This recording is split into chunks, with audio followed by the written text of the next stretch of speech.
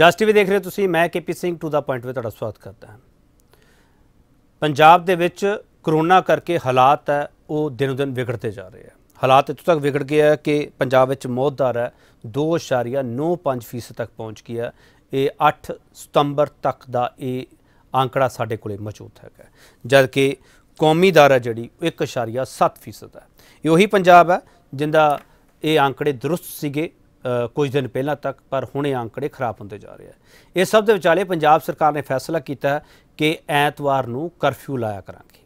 30 ਸਤੰਬਰ ਤੱਕ ਇਹ ਫੈਸਲਾ ਕੀਤਾ ਗਿਆ ਕਰਫਿਊ ਲਗਾਉਣ ਦਾ।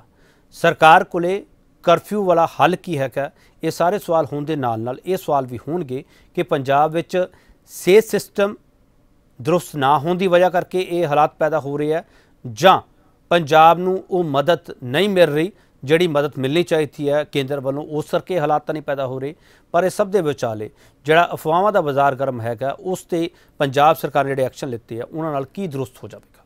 ਬਹੁਤ ਸਾਰੇ ਸਵਾਲ ਹੈ ਤੇ ਵੱਡਾ ਸਵਾਲ ਇੱਕੋ ਪੁੱਛਿਆ ਜਾਵੇਗਾ ਕਿ ਪੰਜਾਬ 'ਚ curfew ਰੋਕੇਗਾ, corona.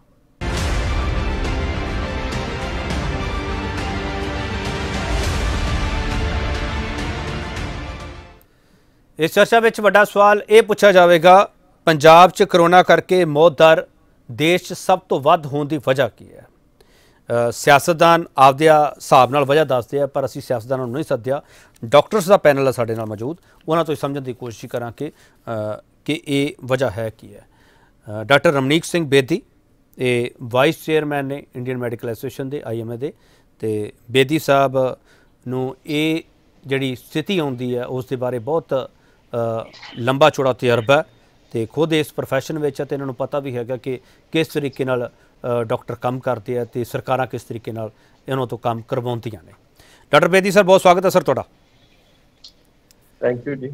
Doctor Santokh Singh general physician ਨੇ ਡਾਈਟੀਸ਼ੀਅਨ ਨੇ ਤੇ ਖੁਦ ਸਪੋਰਟਸ ਪਰਸਨ ਵੀ ਨੇ ਤੇ ਇਹਨਾਂ ਨੂੰ ਪਤਾ ਹੈਗਾ ਕਿ ਕਿਹੜਾ ਇਮਿਊਨਿਟੀ ਲੈਵਲ ਆ ਸਾਨੂੰ ਬਚਾ ਸਕਦਾ ਪਰ ਇਸ ਇਮਿਊਨਿਟੀ ਦੇ ਨਾਲ ਕਮਿਊਨਿਟੀ ਕਿੱਥੋਂ ਤੱਕ ਕੰਮ ਕਰਦੀ ਪਈ ਹੈ ਤੇ ਸਰਕਾਰਾਂ ਉਸ ਕਮਿਊਨਿਟੀ ਦੇ ਵਿਚਾਲੇ ਕਿਸ ਤਰੀਕੇ ਨਾਲ ਕੰਮ ਕਰਦੀ ਪਈ ਸਾਰੇ ਸਵਾਲ ਇਹਨਾਂ ਤੋਂ ਹੋਣਗੇ ਜ਼ਰੂਰ। ਅਕਸਰ ਤੁਸੀਂ ਇਹਨਾਂ ਨੂੰ ਸੋਸ਼ਲ ਮੀਡੀਆ ਤੇ ਬਹੁਤ ਦੇਖਦੇ ਹੋ ਡਾਕਟਰ ਸੰਤੋਖ ਸਿੰਘ ਹਰਾਂ ਨੂੰ। ਤੇ ਇਸੇ ਕਰਕੇ ਇਹਨਾਂ ਨੂੰ ਸੱਦਿਆ ਇਹ ਪਹਿਲਾਂ ਵੀ ਇਸ ਪੈਨਲ ਵਿੱਚ ਮੌਜੂਦ ਸੀਗੇ ਇਸ ਕਰਕੇ ਇਹਨਾਂ ਨੂੰ ਦੁਬਾਰਾ ਬੁਲਾਇਆ। ਡਾਕਟਰ ਸੰਤੋਖ ਸਿੰਘ ਸਰ ਬਹੁਤ ਸਵਾਗਤ ਹੈ ਸਰ ਤੁਹਾਡਾ। ਸਤਿ ਸ਼੍ਰੀ ਅਕਾਲ ਸਤਿ ਸ਼੍ਰੀ ਅਕਾਲ ਜੀ। ਸਤਿ ਸ਼੍ਰੀ ਅਕਾਲ ਜੀ। ਡਾਕਟਰ ਬੇਦੀ ਸਰ ਪਹਿਲਾ ਸਵਾਲ ਤੁਹਾਨੂੰ ਕਰਨਾ ਚਾਹੂੰਗਾ। ਡਾਕਟਰ ਬੇਦੀ ਜੇ ਮੈਂ ਕੱਲਾ ਆંકੜਿਆਂ ਤੇ ਨਜ਼ਰ ਮਾਰਾਂ ਤਾਂ ਆંકੜੇ ਤਾਂ ਸਾਨੂੰ ਬਹੁਤ ਕੁਝ ਕਹਿ ਰਹੇ ਆ ਸਰ। ਥੋੜੇ ਜਿਹਾ ਬਹੁਤ ਮੈਂ ਸ਼ੁਰੂ ਚ ਦੱਸ ਵੀ ਚੁੱਕਿਆ ਤੇ ਇੱਥੇ ਸਰ ਡਾਟਾ ਚੱਲਦਾ ਵੀ ਪਿਆ ਨਾਲ ਸਰ, ਸਵਾਲ ਇਹ ਹੈ ਕਿ ਪੰਜਾਬ ਵਿੱਚ ਇਹ ਡੈਥ ਰੇਟ ਰਿਕਵਰੀ ਰੇਟ ਦੇ ਮੁਕਾਬਲੇ ਕਿੱਥੇ ਜਾ ਕੇ ਖੜਦਾ ਪਿਆ ਤੇ ਕਿਉਂ ਇਹੋ ਜਿਹੇ ਹਾਲਾਤ ਪੈਦਾ ਹੋ ਰਹੇ ਆ? ਡਾਕਟਰ ਬੇਦੀ, ਬਹੁਤ ਸਧਾਰਨ ਸਵਾਲ ਹੈ, ਸਰ। ਦੇਖੋ, ਇਸ ਤਰ੍ਹਾਂ ਹੈਗਾ ਕਿ ਆંકੜੇ ਜਿਹੜੇ ਹੈਗੇ ਨੇ, ਇਹ ਕੁਝ ਤੇ ਜਿਹੜੇ ਪੰਜਾਬੀ ਹੈਗੇ ਐ, ਇਹਦੇ ਵਿੱਚ ਕਈ ਕੁਝ ਸ਼ਾਮਿਲ ਹੈਗਾ। ਸਾਡੇ ਵਿੱਚ ਹਾਈਪਰਟੈਂਸ਼ਨ ਡਾਇਬੀਟੀਜ਼ ਤੇ alcohol use or drug use also ਉਹ ਸਾਰਾ ਕੁਝ ਅਸੀਂ ਦੇਖਦੇ ਪਏ ਐ। ਪੰਜਾਬ ਵਿੱਚ ਇਹ ਬਹੁਤ ਜ਼ਿਆਦਾ ਪ੍ਰਚਲਿਤ ਹੈਗਾ ਹੈ। ਸੋ ਇਹ ਵੀ ਦੇਖਿਆ ਗਿਆ ਹੈ ਕਿ ਜਿਹੜੇ ਲੋਕਾਂ ਵਿੱਚ ਕੋਮੋਰਬਿਡਿਟੀਜ਼ ਹੁੰਦੀਆਂ ਜਾਂ ਜਿਨ੍ਹਾਂ ਦੇ ਇਮਿਊਨਿਟੀ ਲੈਵਲ ਘੱਟ ਹੁੰਦੇ ਨੇ, ਇਹਨਾਂ ਚੀਜ਼ਾਂ ਕਰਕੇ ਉਹ ਵੀ। ਹੁਣ ਬੜੀ ਹੈਰਾਨੀ ਦੀ ਗੱਲ ਹੈ ਕਿ ਇੱਕ ਤਾਂ ਜਿਹੜੀ ਤੁਸੀਂ ਗੱਲ ਕੀਤੀ ਹੈ ਕਿ ਵੀ ਸੈਂਟਰ ਸਹਾਇਤਾ ਕਰ ਰਿਹਾ ਕਿ ਨਹੀਂ ਕਰ ਰਿਹਾ। ਦੂਸਰੀ ਇਹ ਹੈ ਕਿ ਕਿ ਬਿਊਰੋਕ੍ਰੈਟਿਕ ਜਾਂ ਪੋਲੀਟੀਕਲ ਤਰੀਕੇ ਦੇ ਨਾਲ ਇਹ ਮੁਹਿੰਮ ਚੱਲਦੀ ਪਈ ਹੈ ਕਿ ਡਾਕਟਰਾਂ ਦੇ ਰਾਹੀਂ ਚੱਲਦੀ ਪਈ ਹੈ। ਆਈ ਥਿੰਕ ਅਸੀਂ ਪਹਿਲੇ ਬਹੁਤ ਦੇਰ ਤੋਂ ਇਸ ਚਰਚਾ ਵਿੱਚ ਇਹ ਗੱਲ ਬੜੀ ਸਾਫ਼ ਕਰ ਚੁੱਕੇ ਹਾਂ ਕਿ ਡਾਕਟਰ ਤੇ ਇਹਦੇ ਵਿੱਚ ਨਦਾਰਦ ਹੈ ਤੇ ਬਾਕੀ ਸਾਰੇ ਕੁਝ ਜਿਹੜੇ ਹੈਗੇ ਨੇ ਉਹ ਅੱਗੇ ਆ ਰਹੇ ਨੇ। ਜਿਹੜਾ ਲੋਕਡਾਊਨ ਪਹਿਲਾਂ ਐਕਸਟੈਂਡ ਕੀਤਾ ਸੀਗਾ, ਉਹਦਾ ਸਾਇੰਟੀਫਿਕ ਬੇਸਿਸ ਕੁਝ ਨਹੀਂ ਲੱਭਿਆ। ਜਦੋਂ ਹੁਣ ਲੋਕਡਾਊਨ ਹਟਾ ਰਹੇ ਨੇ ਰੀਜ਼ਨ ਇਜ਼ ਪਿਓਰਲੀ ਇਕਨੋਮਿਕ ਔਰ ਇਹਦਾ ਕੋਈ ਤਾਲੁਕ ਨਹੀਂ ਹੈਗਾ ਮੈਡੀਕਲ ਨਾਲ। ਹੁਣ ਜਿਹੜਾ ਇਹ ਸੰਡੇ ਦਾ ਲੋਕਡਾਊਨ ਦਾ ਜਿਹੜੀ ਇਹ ਸ਼ੁਰੂ ਕੀਤੀ ਇਹ ਕਹਾਣੀ। ਇਹ ਬੜੀ ਅਜੀਬ ਜੀ ਹੈ। ਤੁਸੀਂ ਡਾਕਟਰ ਨੂੰ ਪੁੱਛੋ, ਡਾਕਟਰ ਸਾਹਿਬ ਵੀ ਤੁਹਾਨੂੰ ਦੱਸਣਗੇ ਕਿ ਜੇ ਲੋਕਡਾਊਨ ਕਰਨਾ ਹੈ, ਉਹਦਾ ਇੱਕ ਸਾਇੰਟੀਫਿਕ ਬੇਸਿਸ ਹੋਣਾ ਚਾਹੀਦਾ ਹੈ ਕਿਉਂਕਿ ਕਰੋਨਾ ਦਾ ਜਿਹੜਾ ਇਨਕੂਬੇਸ਼ਨ ਪੀਰੀਅਡ ਹੈ, ਉਹ 5 ਤੋਂ 7 ਦਿਨ ਹੈ। ਤੋ ਜੇ ਅਸੀਂ ਲਾਕਡਾਊਨ ਅੱਜ ਕਰਨਾ ਚਾਹੁੰਦੇ ਹਾਂ, ਜਦੋਂ ਆંકੜੇ ਸਾਡੇ ਬਹੁਤ ਵੱਧ ਕੇ ਨਜ਼ਰ ਆ ਰਹੇ ਨੇ, ਤੇ ਸਾਨੂੰ 5 ਤੋਂ 7 ਦਿਨ ਵਾਸਤੇ ਲਾਕਡਾਊਨ ਦੁਬਾਰਾ ਸਟ੍ਰਿਕਟ ਕਰਨਾ ਪੈਣਾ ਹੈ। ਦੂਸਰੇ ਗੱਲ ਜਿਹੜੀ ਕੰਟੇਨਮੈਂਟ ਜ਼ੋਨਸ ਹੈਗੀਆਂ ਉਹਨਾਂ ਵਿੱਚ ਸੀਰੋ ਸਰਵੇਲੈਂਸ ਜਿਹੜੀ ਹੈਗੀ ਹੈ ਪੰਜਾਬ 'ਚ ਦਿੱਲੀ ਨਾਲੋਂ ਤੇ ਬਾਕੀ ਜਗ੍ਹਾ ਨਾਲੋਂ ਥੋੜੀ ਘੱਟ ਹੋਈ ਹੈ ਸੋ ਉਹਨੂੰ ਵਧਾਉਣਾ ਪੈਣਾ ਹੈ। ਡਾਕਟਰ ਬੇਦੀ ਤੁਸੀਂ ਇਹ ਗੱਲ ਕਹੀ ਕਿ 5 ਤੋਂ 7 ਦਿਨ ਦੇ ਲਈ ਸਾਨੂੰ ਲੋਕਡਾਊਨ ਪੀਰੀਅਡ ਕਰਨਾ ਚਾਹੀਦਾ। ਮੇਰਾ ਸਵਾਲ ਹੈ ਸਰ ਕਿ ਇਸ ਤੋਂ ਪਹਿਲਾਂ ਲੋਕਡਾਊਨ ਕਰਕੇ ਕੀ ਖੱਟ ਲਿਆ ਸਰ? ਯੈਸ ਯੂ ਸੀ ਪਹਿਲਾਂ ਜਿਹੜਾ ਲਾਕਡਾਊਨ ਹੈ, ਬਹੁਤ ਜ਼ਿਆਦਾ ਐਕਸਟੈਂਡ ਕਰ ਦਿੱਤਾ ਸੀਗਾ ਇਹਨਾਂ ਨੇ। ਉਹਦੇ ਵਿੱਚ ਜੋ ਖਟਣਾ ਸੀਗਾ ਖਟਣਾ ਇਸ ਤਰ੍ਹਾਂ ਹੈਗਾ ਕਿ ਜੇ ਤੁਸੀਂ ਨਮਕ ਘੱਟ ਹੈਗਾ, ਤੇ ਤੁਸੀਂ ਥੋੜਾ ਜਿਹਾ ਨਮਕ ਪਾ ਕੇ ਦਾਲ ਨੂੰ ਸਵਾਦ ਕਰ ਸਕਦੇ ਹੋ। ਮਗਰ ਹੈਲਥ ਇਨਫਰਾਸਟ੍ਰਕਚਰ ਜਿਹੜਾ ਇੰਡੀਪੈਂਡੈਂਸ ਤੋਂ ਬਾਅਦ ਉਹਦਾ ਇੰਨਾ ਬੁਰੀ ਤਰ੍ਹਾਂ ਨਾਲ ਉਹਨੂੰ ਨੈਗਲੈਕਟ ਕੀਤਾ ਗਿਆ ਹੈ। ਉਹ 3 ਜਾਂ 4 ਮਹੀਨੇ ਚ ਲਾਕਡਾਊਨ ਦਾ ਮਤਲਬ ਇਹ ਸੀਗਾ ਕਿ ਅਸੀਂ ਤਿਆਰੀ ਕਰੀਏ। ਹੈਲਥ ਇਨਫਰਾਸਟ੍ਰਕਚਰ ਨੂੰ ਵਧਾਈਏ, ਉਹ ਤੇ ਹੁਣ ਇਹ 3-4 ਮਹੀਨੇ ਚ ਵਧਣਾ ਨਹੀਂ ਹੈ, ਉਹ ਇਹਨਾਂ ਨੂੰ ਪਤਾ ਚੱਲ ਗਿਆ। ਸੋ ਇਹ ਜਿਹੜੀ ਆ, ਦੂਸਰੀ ਇੱਕ ਕਾਰਨ ਸੀਗਾ ਕਿ ਵੀ ਅਸੀਂ ਦੇਖੀਏ ਕਿ ਵੀ ਕਰੋਨਾ ਜਿਹੜੀ ਹੈਗੀ ਹੈ ਕਿਹੋ ਜੀ ਤੇ ਬਿਮਾਰੀ ਹੈ, ਉਹਦਾ ਇਲਾਜ ਕੀ ਹੈ। ਹੁਣ ਰੋਜ਼ ਦੇ ਰੋਜ਼ ਅਸੀਂ ਦੇਖਦੇ ਪਏ ਹਾਂ ਕਿ ਇਲਾਜ ਵੀ ਬਦਲਦੇ ਪਏ ਨੇ ਤੇ ਉਹ ਉਹਦੇ ਜਿਹੜੇ ਆંકੜੇ ਆ, ਉਹ ਵੀ ਤਬਦੀਲ ਹੋ ਰਹੇ ਨੇ। ਠੀਕ ਠੀਕ। ਹੈ ਡਾਕਟਰ ਸੰਤੋਖ ਸਿੰਘ, ਇੱਕ ਪਰਸੈਪਸ਼ਨ ਹੁੰਦੀ ਹੈ, ਇੱਕ ਪ੍ਰੈਕਟੀਕਲੀ ਗਰਾਊਂਡ ਤੇ ਜਿਹੜੀਆਂ ਚੀਜ਼ਾਂ ਮੌਜੂਦ ਹੁੰਦੀਆਂ, ਦੋ ਚੀਜ਼ਾਂ ਵਿੱਚ ਬਹੁਤ ਫ਼ਰਕ ਹੁੰਦਾ। ਪਰਸੈਪਸ਼ਨ ਬਿਲਡਿੰਗ ਹੈ ਇਹ ਕਿ ਕਰੋਨਾ ਦੇ ਖਿਲਾਫ ਸਰਕਾਰਾਂ ਕੰਮ ਕਰ ਰਹੀਆਂ ਜਾਂ ਜ਼ਮੀਨ ਤੇ ਦਾ ਅਸਰ ਦਿਖਾਈ ਦੇ ਰਿਹਾ ਸਰ। ਜ਼ਮੀਨ ਤੇ ਅਸਰ ਨਹੀਂ ਦਿਖਾਈ ਦੇ ਰਿਹਾ, ਤਾਂ ਹੀ ਇਹ ਜਿਹੜਾ ਡੈਥ ਰੇਟ ਹੈ ਸਾਡੇ ਕੋਲੇ ਇਹ ਪਹੁੰਚਿਆ ਹੋਇਆ ਡਾਕਟਰ ਸੰਤੋਖ ਸਿੰਘ। ਥੋੜਾ ਜਿਹਾ ਸਰ ਮੈਨੂੰ ਸਮਝਾ ਦਿਓ, ਸਰਕਾਰ ਇਹ ਦਿਖਾਉਣਾ ਚਾਹ ਰਹੀ ਹੈ ਕਿ ਅਸੀਂ ਕੰਮ ਕਰ ਰਹੇ ਹਾਂ? ਸਰਕਾਰ ਤਾਂ ਦਿਖਾਉਣਾ ਚਾਹੇਗੀ ਕਿ ਇਹ ਕੰਮ ਕਰ ਰਹੇ ਹਾਂ, ਲੇਕਿਨ ਜਦ ਪ੍ਰੈਕਟੀਕਲ ਚੀਜ਼ਾਂ ਹੈਗੀਆਂ ਤੁਸੀਂ ਸਭ ਨਹੀਂ ਹੈਗੀਆਂ। ਹੁਣ ਡੈਥ ਰੇਟ ਕਿਉਂ ਵਧ ਰਹੇ ਹਨ ਹੈਨਾ? ਤੇ ਅਗਰ ਸਰਕਾਰ ਕੋਲ ਪ੍ਰੋਪਰ ਇਹਦਾ ਅਰੇਂਜਮੈਂਟ ਕੀਤਾ ਹੁੰਦਾ ਪ੍ਰੋਪਰ ਇਹਦੀ ਇਨਕੁਆਇਰੀਆਂ ਹੋਈਆਂ ਹੁੰਦੀਆਂ ਪ੍ਰੋਪਰ ਇਹਦੀ ਚੇਨ ਫੜੀ ਗਈ ਹੁੰਦੀ, ਤੇ ਪ੍ਰੋਪਰ ਇਹਨੂੰ ਲਾਕਡਾਊਨ ਤਰੀਕੇ ਨਾਲ, ਅੱਛੇ ਤਰੀਕੇ ਨਾਲ ਲਗਾਇਆ ਗਿਆ ਹੁੰਦਾ ਪ੍ਰੋਪਰ ਲੋਕਾਂ ਨੇ ਵੀ ਸਰਕਾਰ ਦਾ ਸਾਥ ਦਿੱਤਾ ਹੁੰਦਾ ਥੋੜਾ ਬਹੁਤ, ਤੇ ਉਸ ਕਰਕੇ ਜਿਹੜੀ ਡੈਥ ਰੇਟ ਹੈਗੀ ਹੈ ਇਹ ਘਟ ਸਕਦੀ ਸੀ। ਇਹ ਕੰਬੀਨੇਸ਼ਨ ਆਫ ਪੂਰਾ ਡਿਜ਼ਾਸਟਰ ਹੋ ਗਿਆ ਕਿ ਇੱਥੇ ਹੁਣ ਗਵਰਨਮੈਂਟ ਆਪਣਾ ਦਿਖਾ ਰਹੀ ਹੈ ਕਿ ਅਸੀਂ ਕਰ ਰਹੇ ਹਾਂ ਕੁਝ ਹੁਣ ਸੰਡੇ ਨੂੰ ਲੋਕਡਾਊਨ ਦਾ ਮਤਲਬ ਹੀ ਨਹੀਂ ਹੋ ਗਿਆ ਹੈਨਾ ਤੇ ਨੰਬਰ 2 ਜਿਹੜੀਆਂ ਲੋਕੀ ਵੀ ਕੁਝ ਜ਼ਿਆਦਾ ਫਾਰਵਰਡ ਹੋ ਗਏ ਲੋਕੀ ਪਰਵਾਹ ਹੀ ਨਹੀਂ ਕਰਦੇ ਪਏ। ਇੱਕ ਮੇਰੇ ਸਾਹਮਣੇ ਕਿਹਾ ਸੀਗਾ ਕਿ ਇਹਦੇ ਰੀਜ਼ਨ ਜਿਹੜੇ ਹਾਈਪਰਟੈਂਸ਼ਨ ਹੈਗੀ ਹੈ ਮੈਂ ਕਹਿੰਦਾ ਤੇ ਰੀਜ਼ਨ ਨਾ ਮੇਨ ਹੋਰ ਕੀ ਹੈਗਾ ਓਬਿਸਿਟੀ ਵੀ ਹੈਗੀ ਹੈ। ਲੋਕੀ ਤੇ ਪੰਜਾਬ ਦੇ ਬਹੁਤ ਲੋਕੀ ਓਬੀਸ ਵੀ ਹੈਗੇ ਆ ਤੇ ਓਬੀਸ ਹੋਣ ਦੇ ਕਾਰਨ ਵੀ ਲੋਕਾਂ ਦੀ ਇਮਿਊਨਿਟੀ ਲੋ ਹੁੰਦੀ ਹੈ। ਮੈਂ doctor Santokh Singh doctor Santokh Singh doctor Bedi ਮੈਂ ਤੁਹਾਡੇ ਦੋਨਾਂ ਡਾਕਟਰਸ ਨਾਲ ਪਹਿਲਾਂ ਵੀ ਗੱਲਬਾਤ ਕਰ ਚੁੱਕੇ ਹਾਂ ਸਰ। ਉਦੋਂ ਤੁਸੀਂ ਲੋਕ ਕਹਿੰਦੇ ਸੀ ਕਿ ਪੰਜਾਬੀਆਂ ਦੀ ਇਮਿਊਨਿਟੀ ਹੈ ਜਿਹੜੀ ਬਾਕੀਆਂ ਨਾਲੋਂ ਜ਼ਿਆਦਾ ਸਟਰੋਂਗ ਹੈ। ਉਸ ਤੋਂ ਬਾਅਦ ਨਾਲ ਤੁਸੀਂ ਇਹ ਵੀ ਕਹਿੰਦੇ ਸੀ ਇੰਡੀਅਨਸ ਦੀ ਇਮਿਊਨਿਟੀ ਆ ਜਿਹੜੀ ਬਾਕੀਆਂ ਨਾਲੋਂ ਸਟਰੋਂਗ ਹੈਗੀ ਆ। ਉੱਥੇ ਵੀ ਜੇ ਸਰ ਉਹਨਾਂ ਦਾ ਮੈਂ ਅੰਕੜੇ ਚੱਕ ਕੇ ਦੇਖਾ ਤਾਂ ਜਿਹੜੇ ਚਾਰ ਦੇਸ਼ ਹੈਗੇ ਉਹਨਾਂ ਵਿੱਚ ਵੀ ਇੰਡੀਆ ਦੀ ਜਿਹੜੀ ਸਥਿਤੀ ਬਾਲੀ ਬਿਹਤਰ ਨਹੀਂ ਹੈਗੀ ਡਾਕਟਰ ਸੰਤੋਖ ਸਿੰਘ ਅੱਜ ਤੁਸੀਂ ਕਹਿ ਰਹੇ ਹੋ ਕਿ ਓਬੈਸਿਟੀ ਸਾਨੂੰ ਤੰਗ ਕਰ ਰਹੀ ਹੈ ਅਲਕੋਹਲ ਆ ਉਹ ਸਾਨੂੰ ਤੰਗ ਕਰ ਰਹੀ ਹੈ ਹਾਈਪਰਟੈਂਸ਼ਨ ਉਹ ਤੰਗ ਕਰ ਰਹੀ ਹੈ ਡਾਕਟਰ ਸੰਤੋਖ ਸਿੰਘ ਮੈਨੂੰ ਲੱਗਦਾ ਕਿ ਤੁਸੀਂ ਲੋਕ ਵੀ ਬਿਆਨ ਬਦਲਦੇ ਪਏ ਹੋ ਆਪਣੇ। ਮਾਫ ਕਰਨਾ ਮੈਨੂੰ ਮੈਨੂੰ ਤਿੱਖਾ ਸਵਾਲ ਕਰਨਾ ਪੈ ਰਿਹਾ।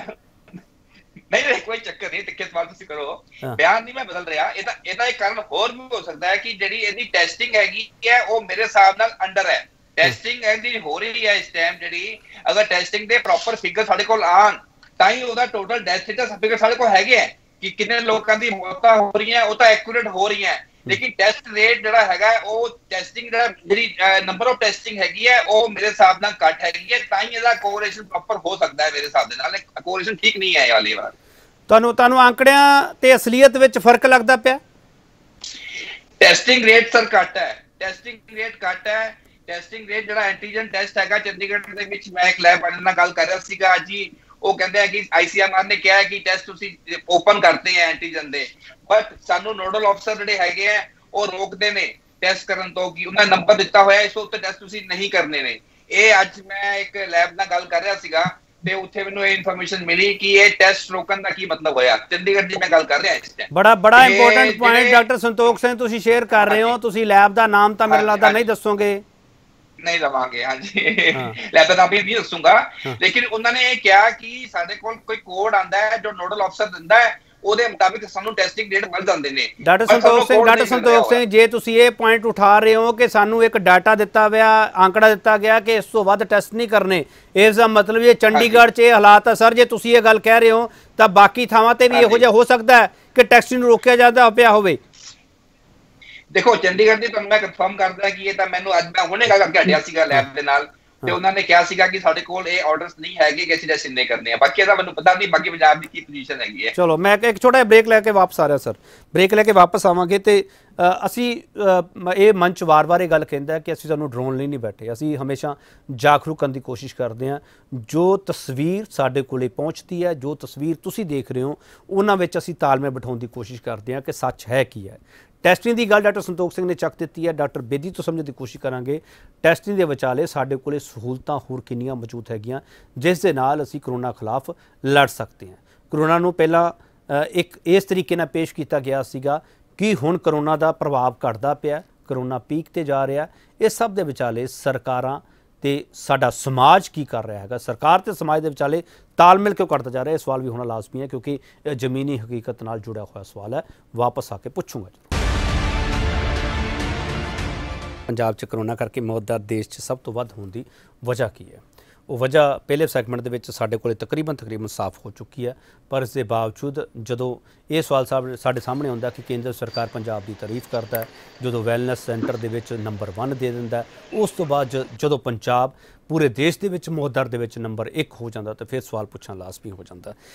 ਡਾਕਟਰ ਬੇਦੀ ਸਰ ਮੇਰਾ ਸਵਾਲ ਇਹ ਹੈ ਕਿ ਕੱਲਾ ਜਦੋਂ ਵੈਕਸੀਨ ਨਹੀਂ ਹੈਗੀ ਸਾਡੇ ਕੋਲੇ ਜਦੋਂ ਸਾਡੇ ਕੋਲ ਟ੍ਰੀਟਮੈਂਟ ਨਹੀਂ ਹੈਗਾਗਾ ਜਿੰਦੇ ਨਾਲ ਅਸੀਂ ਗਰੰਟੀ ਦੇ ਸਕੀਏ ਕਿ ਹਾਂ ਇਹ ਟ੍ਰੀਟਮੈਂਟ ਹੈ ਜਿਹੜਾ ਉਹ ਕਾਰਗਰ ਹੈ ਉਦੋਂ ਅਸੀਂ ਕੱਲਾ ਸਰਕਾਰਾਂ ਤੇ ਬਲੇਮ ਕਰਕੇ ਸਰ ਸੁਰਖਰੂ ਹੋ ਸਕਦੇ ਹਾਂ ਕਿਉਂਕਿ ਸਮਾਜ ਦਾ ਵੀ ਉਨਾ ਹੀ ਵੱਡਾ ਰੋਲ ਹੈ sir doctor Bedi. Absolutely absolutely ਤੁਸੀਂ ਇਹ ਹੋਇਆ ਕਿ ਕਿ ਜਦੋਂ ਅਸੀਂ ਇਹ ਗੱਲਾਂ ਕਰਦੇ ਆਂ ਕਿ ਜਿਹੜੇ ਲੋਕਾਂ ਦੀ ਇਮਿਊਨਿਟੀ ਵਧਾ ਹੈ ਔਰ ਆંકੜੇ ਜਿਹੜੇ ਹੈਗੇ ਨੇ ਪੰਜਾਬ ਦੇ ਬੈਟਰ ਨੇ as compare to other states ਤੋਂ ਉਹਦੇ ਵਿੱਚ ਸਾਡੇ ਪੰਜਾਬੀਆਂ 'ਚ ਇੱਕ ਖਾਸ ਖਸੀਅਤ ਇਹ ਵੀ ਹੈਗੀ ਹੈ ਕਿ ਅਸੀਂ ਬੜੇ ਜਲਦੀ ਇੱਕ ਕੇਅਰ ਫਰੀ ਹੋ ਜਾਂਦੇ ਆ ਅਸੀਂ ਬਾਈ ਨੇਚਰ ਕੇਅਰ ਫਰੀ ਹੈ। ਤੋਂ ਹੋਇਆ ਕੀ ਕਿ ਪਿਛਲੇ 1 ਮਹੀਨੇ ਡੇਢ ਮਹੀਨੇ ਵਿੱਚ ਕਾਫੀ ਹੱਦ ਤੱਕ ਪੰਜਾਬ 'ਚ ਇੱਕ ਅਸੀਂ ਮੰਨ ਕੇ ਚੱਲ ਗਏ ਸੀ ਕਿ ਪੰਜਾਬ ਜਿਹੜਾ ਹੈਗਾ ਨੰਬਰ 1 ਸਟੇਟ ਹੈ ਰਿਕਵਰੀ ਵਾਲੇ ਪਾਸੋਂ ਤੇ ਡੈਥ ਰੇਟ ਵਾਲੇ ਪਾਸੋਂ ਵੀ। ਤੇ ਉਹਦੇ ਕਰਕੇ ਇਹ ਬਿਲਕੁਲ ਸਹੀ ਗੱਲ ਹੈ ਕਿ ਜਿਹੜੇ ਆਮ ਜਨਤਾ ਹੈਗੀ ਹੈ ਉਹ ਬਿਲਕੁਲ ਬੇਨਕਾਬ ਹੋ ਗਈ ਸੀਗੀ ਇਨ ਦੀ ਟਰੂ ਸੈਂਸ ਔਰ ਲੋਕਾਂ ਨੇ ਪਾਰਟੀਆਂ ਵੀ ਕਰਨੀ ਸ਼ੁਰੂ ਕਰ ਦਿੱਤੀਆਂ ਬਾਹਰ ਆਣਾ ਜਾਣਾ ਵੀ ਸ਼ੁਰੂ ਕਰਤਾ ਔਰ ਗਵਰਨਮੈਂਟ ਨੇ ਵੀ ਮੇਰੇ ਹਿਸਾਬ ਨਾਲ ਲਾਕਡਾਊਨ ਜਿਹੜਾ ਅਨਲਾਕਡਾਊਨ ਹੈ ਉਹ ਬੜੀ ਛੇਤੀ ਕਾਨੂੰਨ ਕਰ ਦਿੱਤਾ ਹੋ ਸਕਦਾ ਹੈ ਇਹ ਇਹਨਾਂ ਨੂੰ ਦੋ ਦੋ ਦਿਨ ਲਾਕਡਾਊਨ ਰੱਖਦੇ ਇੱਕ ਦਿਨ ਅਨਲਾਕਡਾਊਨ ਕਰਦੇ ਕੁਝ ਇਹੋ ਜਿਹਾ ਚੀਜ਼ ਹੋਈ ਹੈ ਜਿਹਦੇ ਕਰਕੇ ਇਹ ਜਿਹੜਾ ਦੁਬਾਰਾ ਜਿਹੜਾ ਆંકੜਾ ਹੈਗਾ ਉਹ ਸੀਰੀਅਸਨੈਸ ਵੱਲ ਪਹੁੰਚਿਆ। ਔਰ ਇਹਦੇ ਵਿੱਚ ਬਿਲਕੁਲ ਮੈਂ ਤੁਹਾਡੀ ਗੱਲ ਨਾਲ ਇਤਫਾਕ ਰੱਖਦਾ ਹਾਂ ਕਿ ਇਹਦੇ ਵਿੱਚ ਲੋਕੀ ਵੀ ਉਨੇ ਹੀ ਜ਼ਿੰਮੇਦਾਰ ਨੇ। ਹੂੰ। ਡਾਕਟਰ ਬੇਦੀ ਸਾਡੇ ਲੋਕਾਂ ਦੇ ਵਿੱਚ ਇੱਕ ਇਹ ਹੈਗਾ ਹੋ ਸਕਦਾ ਕਿ ਅਸੀਂ ਵੀ ਕਰਦੇ ਹੋਈਏ। ਅਸੀਂ ਪੁਲਿਸ ਨੂੰ ਦੇਖ ਕੇ ਸਰ ਮਾਸਕ ਪਾਉਂਦੇ ਆ ਬਿਲਕੁਲ। ਇਹ ਇਹ, ਇਸ ਬਈ ਤੋਂ ਮੈਂ ਕਹਿਣਾ ਪੰਜਾਬੀ ਜਿਹੜਾ ਕੈਰੈਕਟਰ ਹੈਗਾ ਇਹ ਇਹ ਬੜਾ ਬੇਬਾਕ ਕੈਰੈਕਟਰ ਹੈ ਔਰ ਇਹ ਜਿਹੜਾ ਵਾਇਰਸ ਹੈਗਾ, ਇਹ ਪੰਜਾਬੀ ਜਾਂ ਕਿਸੇ ਨੂੰ ਨਹੀਂ ਦੇਖਦਾ। ਇਹਦੀ ਜਿਹੜੀ ਆਪਣੀ ਜਿਹੜੀ ਕੈਰੈਕਟਰ ਜਿਹੜਾ ਜਿਵੇਂ ਤੁਹਾਨੂੰ ਦੱਸਿਆ ਇਹ ਇਹੋ ਜਿਹਾ ਹੈਗਾ ਕਿ ਇਹ ਜਦੋਂ ਤੁਸੀਂ ਇਸ ਨੂੰ, ਇਹ ਤੁਹਾਡੇ ਨੇੜੇ ਨਹੀਂ ਜਾਊਗਾ, ਔਰ ਤੁਸੀਂ ਉਹਦੇ ਨੇੜੇ ਜਾਂਦੇ ਹੋ। ਸੋ ਇਹ ਚੀਜ਼ਾਂ ਜਿਹੜੀ ਹੈਗੀਆਂ, ਜਿੰਨਾ ਵੀ ਅਨਲੌਕਡਾਊਨ ਅਸੀਂ ਕੀਤਾ ਅਸੀਂ ਬੜੇ ਜ਼ੋਰ ਨਾਲ ਇਹ ਗੱਲ ਜਿਵੇਂ ਤੁਸੀਂ ਵੀ ਬਾਰ-ਬਾਰ ਇਹ ਕਹਿ ਰਹੇ ਹੋ ਆਪਣੇ ਪ੍ਰੋਗਰਾਮ ਕਰਨ ਦੇ ਨਾਲ ਇਹ ਸਾਨੂੰ ਆਪਣੇ ਮੱਥੇ ਤੇ ਲਿਖਣਾ ਪਏਗਾ ਕਿ ਅਸੀਂ ਜਿਹੜੇ ਸਾਵਧਾਨੀਆਂ ਹੈਗੀਆਂ ਉਹ ਪੂਰੀਆਂ ਵਰਤਨੀਆਂ ਜ਼ਿਆਦਾ ਵਰਤਨੀਆਂ ਕਿਉਂਕਿ ਜਿਹੜਾ ਅਨਲੌਕਡਾਊਨ ਹੈ ਉਹਦੇ ਨਾਲ ਇਹ ਅੰਦੇਸ਼ਾ ਤੇ ਪੱਕਾ ਹੀ ਹੈਗਾ ਕਿ ਵੀ ਇਹ ਇਨਫੈਕਸ਼ਨ ਜਿਹੜੀ ਹੈ ਉਹ ਸਪਰੈਡ ਜ਼ਿਆਦਾ ਹੋਏਗੀ। ਠੀਕ ਹੈ। ਡਾਕਟਰ ਸੰਤੋਖ ਸਿੰਘ ਇਹ ਕਹ ਰਹੇ ਕਿ ਪੰਜਾਬੀ ਸੁਭਾਅ ਹੈ ਸਾਡਾ। ਮੈਂ ਸਰ ਪੰਜਾਬੀ ਸੁਭਾਅ ਦੇ ਨਾਲ ਨਾਲ ਮੈਂ ਕਹੂੰਗਾ ਕਿ ਸਾਡਾ ਸਾਰਿਆਂ ਦਾ ਸੁਭਾਅ ਇਹੋ ਜਿਹਾ ਕਿ ਜੋ ਤੱਕ ਡੰਡਾ ਨਾ ਹੋਵੇ ਅਸੀਂ ਸੁਧਰਨ ਦਾ ਕੰਮ ਨਹੀਂ ਕਰਦੇਗੇ ਡਾਕਟਰ ਸੰਤੋਖ ਸਿੰਘ ਪਰ ਨਾਲ ਸਵਾਲ ਇਹ ਵੀ ਹੈ ਡਾਕਟਰਾਂ ਨੂੰ ਪਾਸੇ ਕਰਕੇ ਇੱਕ ਡੰਡੇ ਵਾਲੀ ਥਿਊਰੀ ਅਪਣਾਈ ਗਈ ਹੈ। ਡੰਡੇ ਵਾਲੀ ਥਿਊਰੀ ਕੱਲੀ ਵੀ ਕਾਮਯਾਬ ਨਹੀਂ ਹੋ ਸਕਦੀ, ਸਰ। ਜੇ ਡਾਕਟਰਾਂ ਕੋਲੇ ਉਨੀਆਂ ਸਹੂਲਤਾਂ ਨਹੀਂ ਹੋਣਗੀਆਂ, ਜਿਵੇਂ ਤੁਸੀਂ ਟੈਸਟਿੰਗ ਦੀ ਗੱਲ ਕੀਤੀ ਹੈ, ਉਹਨਾਂ ਨੂੰ ਖੋਲ ਨਹੀਂ ਦਿੱਤੀ ਜਾਊਗੀ। ਟੈਸਟ ਤਾਂ, ਸਰ, ਉਹਨਾਂ ਸਾਰਿਆਂ ਦਾ ਹੋਣਾ ਚਾਹੀਦਾ, ਜਿਨ੍ਹਾਂ ਨੂੰ ਲੱਗਦਾ ਕਿ ਸਾਡਾ ਟੈਸਟ ਹੋਣਾ ਚਾਹੀਦਾ ਇਹ ਚ, ਸਰ, ਇਹ ਥੋੜੀ ਹੋਊਗਾ ਕਿ ਨੰਬਰ ਦੇ ਦਿੱਤੇ ਜਾਣ ਇਹਨਾਂ ਟੈਸਟ ਇਹਨਾਂ ਟੈਸਟ ਹੋਣੇ ਚਾਹੀਦੇ ਆ ਇਹਨਾਂ ਨਹੀਂ ਹੋਣੇ ਚਾਹੀਦੇ। ਮੈਨੂੰ ਉਹ ਲੱਗਦਾ, ਜੋ ਨਵੇਂ ਸਾਲ ਤੇ, ਸਰ, ਚਲਾਨ ਕੱਟਣੇ ਹੁੰਦੇ ਆ ਨਾ, ਉਦੋਂ ਉਦੋਂ ਇੱਕ ਟਾਰਗੇਟ ਦਿੱਤਾ ਜਾਂਦਾ ਟ੍ਰੈਫਿਕ ਪੁਲਿਸ ਨੂੰ, ਭਾਈ ਇਹਨੇ ਦੇ ਚਲਾਨ ਹੋਣੇ ਚਾਹੀਦੇ ਆ। ਮੈਨੂੰ ਉਹ ਜਿਹਾ ਉਹ ਜਿਹਾ ਤਰਕ ਲੱਗਦਾ ਪਿਆ ਤੁਹਾਡਾ, ਸਰ। ਡਾਕਟਰ ਸੰਤੋਖ ਸਿੰਘ। ਨਹੀਂ, ਬਿਲਕੁਲ ਸਹੀ ਕਿਹਾ ਤੁਸੀਂ ਕਿ ਜਦ ਤੱਕ ਟੈਸਟ ਪ੍ਰੋਪਰ ਖੁੱਲੇ ਆਮ ਸ਼ਰੇਆਮ ਨਹੀਂ ਹੋਣਗੇ, ਤਦ ਤੱਕ ਤੁਹਾਨੂੰ ਨਹੀਂ ਪਤਾ ਲੱਗ ਸਕਦਾ ਕਿ ਐਕੂਰੇਟ ਕਿੰਨੇ ਵਿਕਟਿਮ ਹੈਗੇ ਆ ਕਰੋਨਾ ਦੇ। ਜਦ ਟੈਸਟਾਂ ਤੇ ਰੋਕ ਲੱਗ ਜਾਏਗੀ, ਟੈਸਟਾਂ ਦੀ ਜਿਹੜੀ ਸਿੰਪਟਮ ਦੇਖ ਕੇ ਰੋਕ ਟੈਸਟ ਹੋਣਗੇ। ਜਿਹੜੇ simple antigen first stage antigen test ਹੁੰਦੇ ਨੇ ਸਿੰਪਲ ਆਈਜੀ ਆਈਜੀਐਮ ਟੈਸਟ ਹੁੰਦੇ ਨੇ, ਉੱਥੇ ਰੋਕ ਅਗਰ ਲਗਾਉਂਦੀ ਹੈ ਕਿਸੇ ਤਰੀਕੇ ਨਾਲ ਕੋਈ ਵੀ ਏਜੰਸੀ ਤੇ ਉੱਥੇ ਜਿਹੜੇ ਨੰਬਰ ਆਫ ਪੇਸ਼ੈਂਟ ਜਿਹੜੇ ਬਾਹਰ ਆਣਗੇ ਉਹਦਾ ਅੰਕੜਾ ਸਹੀ ਨਹੀਂ ਹੋ ਸਕਦਾ। ਤੇ ਉਹਦੇ ਹਿਸਾਬ ਦੇ ਨਾਲ ਜਿਹੜਾ ਅਸੀਂ ਮੌਤ ਦਾ ਅੰਕੜਾ ਲਗਾਉਂਦੇ ਆ, ਉਹ ਫਿਰ ਤੁਲਨਾ ਗਲਤ ਹੋ ਜਾਏਗੀ ਸਾਡੀ। ਤੇ ਬਾਕੀ ਨੰਬਰ 2 ਜਿਹੜੀ ਗੱਲਾਂ ਹੈਗੀਆਂ, ਜਿਹੜੀਆਂ ਆਪਾਂ ਆਪਣੇ ਲੋਕਾਂ ਦੀਆਂ, ਪੰਜਾਬੀਆਂ ਦੀਆਂ। ਪੰਜਾਬੀ ਲੋਕੀ ਬੇਪਰਵਾਹ ਤਾਂ ਹੈਗੇ ਆ ਬਾਈ ਨੇਚਰ ਲੇਕਿਨ ਹੁਣ ਇਸ ਟਾਈਮ ਨਾ ਇੱਕ ਟੈਂਡੈਂਸੀ ਬਣ ਗਈ ਹੈ, ਮੈਂ ਦੇਖਿਆ। ਹੋਰ ਹਾਲ ਬਾਕੀ ਤੁਸੀਂ ਆ ਕੇ ਦੇਖੋ, ਤਾਂ ਕੁਝ ਲੱਗਦਾ ਹੀ ਨਹੀਂ ਹੈ ਕਿ ਕੁਝ ਹੈਗਾ। ਬਿਲਕੁਲ ਖੁੱਲਾ ਪਿਆ ਪਬ ਦੇਖੋ ਪਬ ਖੁੱਲ ਗਏ ਨੇ, ਮੈਂ ਖਿਆਲ ਕਲੱਬ ਵੀ ਸ਼ਾਇਦ ਖੁੱਲ ਗਏ ਨੇ। ਤੇ ਇਹ ਸਾਰਾ ਕੁਝ ਤਾਂ ਓਪਨ ਹੋ ਗਿਆ ਤੇ ਕਿਸੇ ਤਰੀਕੇ ਦੀ ਰਿਸਟ੍ਰਿਕਸ਼ਨ ਵੀ ਹੈ ਨਹੀਂ। ਤੇ ਕਰਫਿਊ ਸਭ ਖਤਮ ਹੋ ਚੁੱਕੇ ਨੇ। ਤੇ ਉਸ ਕਰਕੇ ਜਿਹੜੀਆਂ ਲੀਨੈਂਸੀ ਜਿਹੜੀ ਵਰਤੀ ਗਈ ਹੈ ਆਪਣਾ ਗਵਰਨਮੈਂਟ ਵੱਲੋਂ ਜਾਂ ਲੋਕਾਂ ਵੱਲੋਂ ਵੀ ਲੋਕਾਂ ਨੂੰ ਵੀ ਮਤਲਬ ਕਿ ਜਿਹਨੂੰ ਬੁਖਾਰ ਹੁੰਦਾ ਹੈ, ਉਹ ਡਰਦਾ ਹੈ। ਬਸ, ਜਿਹਨੂੰ ਬੁਖਾਰ ਖਾਂਸੀ ਹੁੰਦੀ ਹੈ, ਉਹ ਡਰ ਜਾਂਦਾ ਹੈ। ਲੇਕਿਨ ਜਿਹੜੇ ਬੰਦੇ ਠੀਕ ਨੇ, ਉਹ ਕੁਝ ਨਹੀਂ ਹੁੰਦਾ, ਦੇਖੀ ਜਾਏਗੀ। ਅੱਜ ਦਾ ਟ੍ਰੈਂਡ ਹੈ ਦੇਖੀ ਜਾਏਗੀ, ਜੋ ਹੋਏਗਾ। ਲੇਕਿਨ ਇਹ ਟ੍ਰੈਂਡ ਠੀਕ ਨਹੀਂ ਹੈ। ਪਾਜੀ ਇਹ ਜਿਹੜਾ ਜਿਹੜਾ ਵਾਇਰਸ ਹੈਗਾ ਨਾ, ਇਹਦਾ ਕੁਝ ਨਹੀਂ ਪਤਾ ਇਹਨੇ ਕੀ ਕਰਨਾ ਹੈ। ਤੇ ਇਹਦੀ ਜਿਹੜੀ ਸਟੱਡੀ ਹਾਲੇ ਪ੍ਰੋਪਰ ਪ੍ਰੋਪਰ ਹੋਈ ਨਹੀਂ ਹੈਗੀ। ਸਾਡੇ ਕੋਲ ਕੁਝ ਨਹੀਂ ਪਤਾ ਟ੍ਰੀਟਮੈਂਟ ਕੀ ਹੈਗੀ ਹੈ। ਲੋਕਾਂ ਨੂੰ ਪ੍ਰੋਪਰ ਆਪਣਾ ਹਾਈਜੀਨ ਲੈਵਲ ਹਾਈਜੀਨ ਲੈਵਲ ਸਾਡੇ ਸਾਹਿਬ ਨੇ ਕਿਹਾ ਹੈ ਕਿ ਹਾਈਜੀਨ ਲੈਵਲ ਬਹੁਤ ਜ਼ਰੂਰੀ ਹੈ। ਆਪਣੇ ਮਾਸਕ ਬਹੁਤ ਜ਼ਰੂਰੀ ਨੇ। ਇਹ ਬੇਸਿਕ ਚੀਜ਼ਾਂ ਨੇ। ਅਗਰ ਆਪਾਂ ਨਹੀਂ ਕਰਾਂਗੇ, ਆਪਾਂ ਨਹੀਂ ਲੜਾਂਗੇ ਕਰੋਨਾ ਦੇ ਨਾਲ ਤੇ ਕਰੋਨਾ ਸਾਡੇ ਤੇ ਹਾਵੀ ਹੋ ਜਾਏਗਾ ਜਿਹੜਾ ਹੋ ਵੀ ਦਿਖ ਰਿਹਾ, ਪੰਜਾਬ ਹੋ ਰਿਹਾ ਕਰੋਨਾ ਤੇ ਅਸੀਂ ਕਰੋਨਾ ਤੋਂ ਲੜਨਾ ਹੈ ਪ੍ਰੋਪਰ ਪ੍ਰੋਪਰ ਹਾਈਜੀਨ ਦੇ ਨਾਲ ਪ੍ਰੋਪਰ ਤਰੀਕਿਆਂ ਦੇ ਨਾਲ। ਇੱਕ ਘਰ ਬੰਦਾ ਵਿਕਟਿਮ ਹੁੰਦਾ ਹੈ ਕਰੋਨਾ ਦਾ। ਤੇ ਉਹ ਸਾਰੇ ਘਰ ਦੇ ਵਿੱਚ ਉਹ ਗਲੀ ਮੁਹੱਲੇ ਦੇ ਵਿੱਚ ਖਾਸ ਸੇਫਟੀ ਰੱਖੀ ਜਾਂਦੀ ਹੈ। ਲੇਕਿਨ ਜਿੱਥੇ ਕੁਝ ਹੈ ਨਹੀਂ ਉੱਥੇ ਲੋਕੀ ਫਿਰੀ ਘੁੰਮੀ ਜਾਂਦੇ ਆ। ਉਹ ਕਿਤੇ ਵੀ ਜਾ ਸਕਦਾ ਹੈ ਵਾਇਰਸ। ਵਾਇਰਸ ਨੇ ਦੇਖੋ ਤੁਸੀਂ ਵਾਇਰਸ ਨੂੰ ਬਾਹਰੋਂ ਫੜ ਕੇ ਲੈ ਕੇ ਆਣਾ ਇਹ ਗਰੰਟੀ ਹੈ। ਤੁਹਾਡੇ ਘਰ ਨਹੀਂ ਮੁੜ ਕੇ ਆਣਾ ਇਹਨੇ।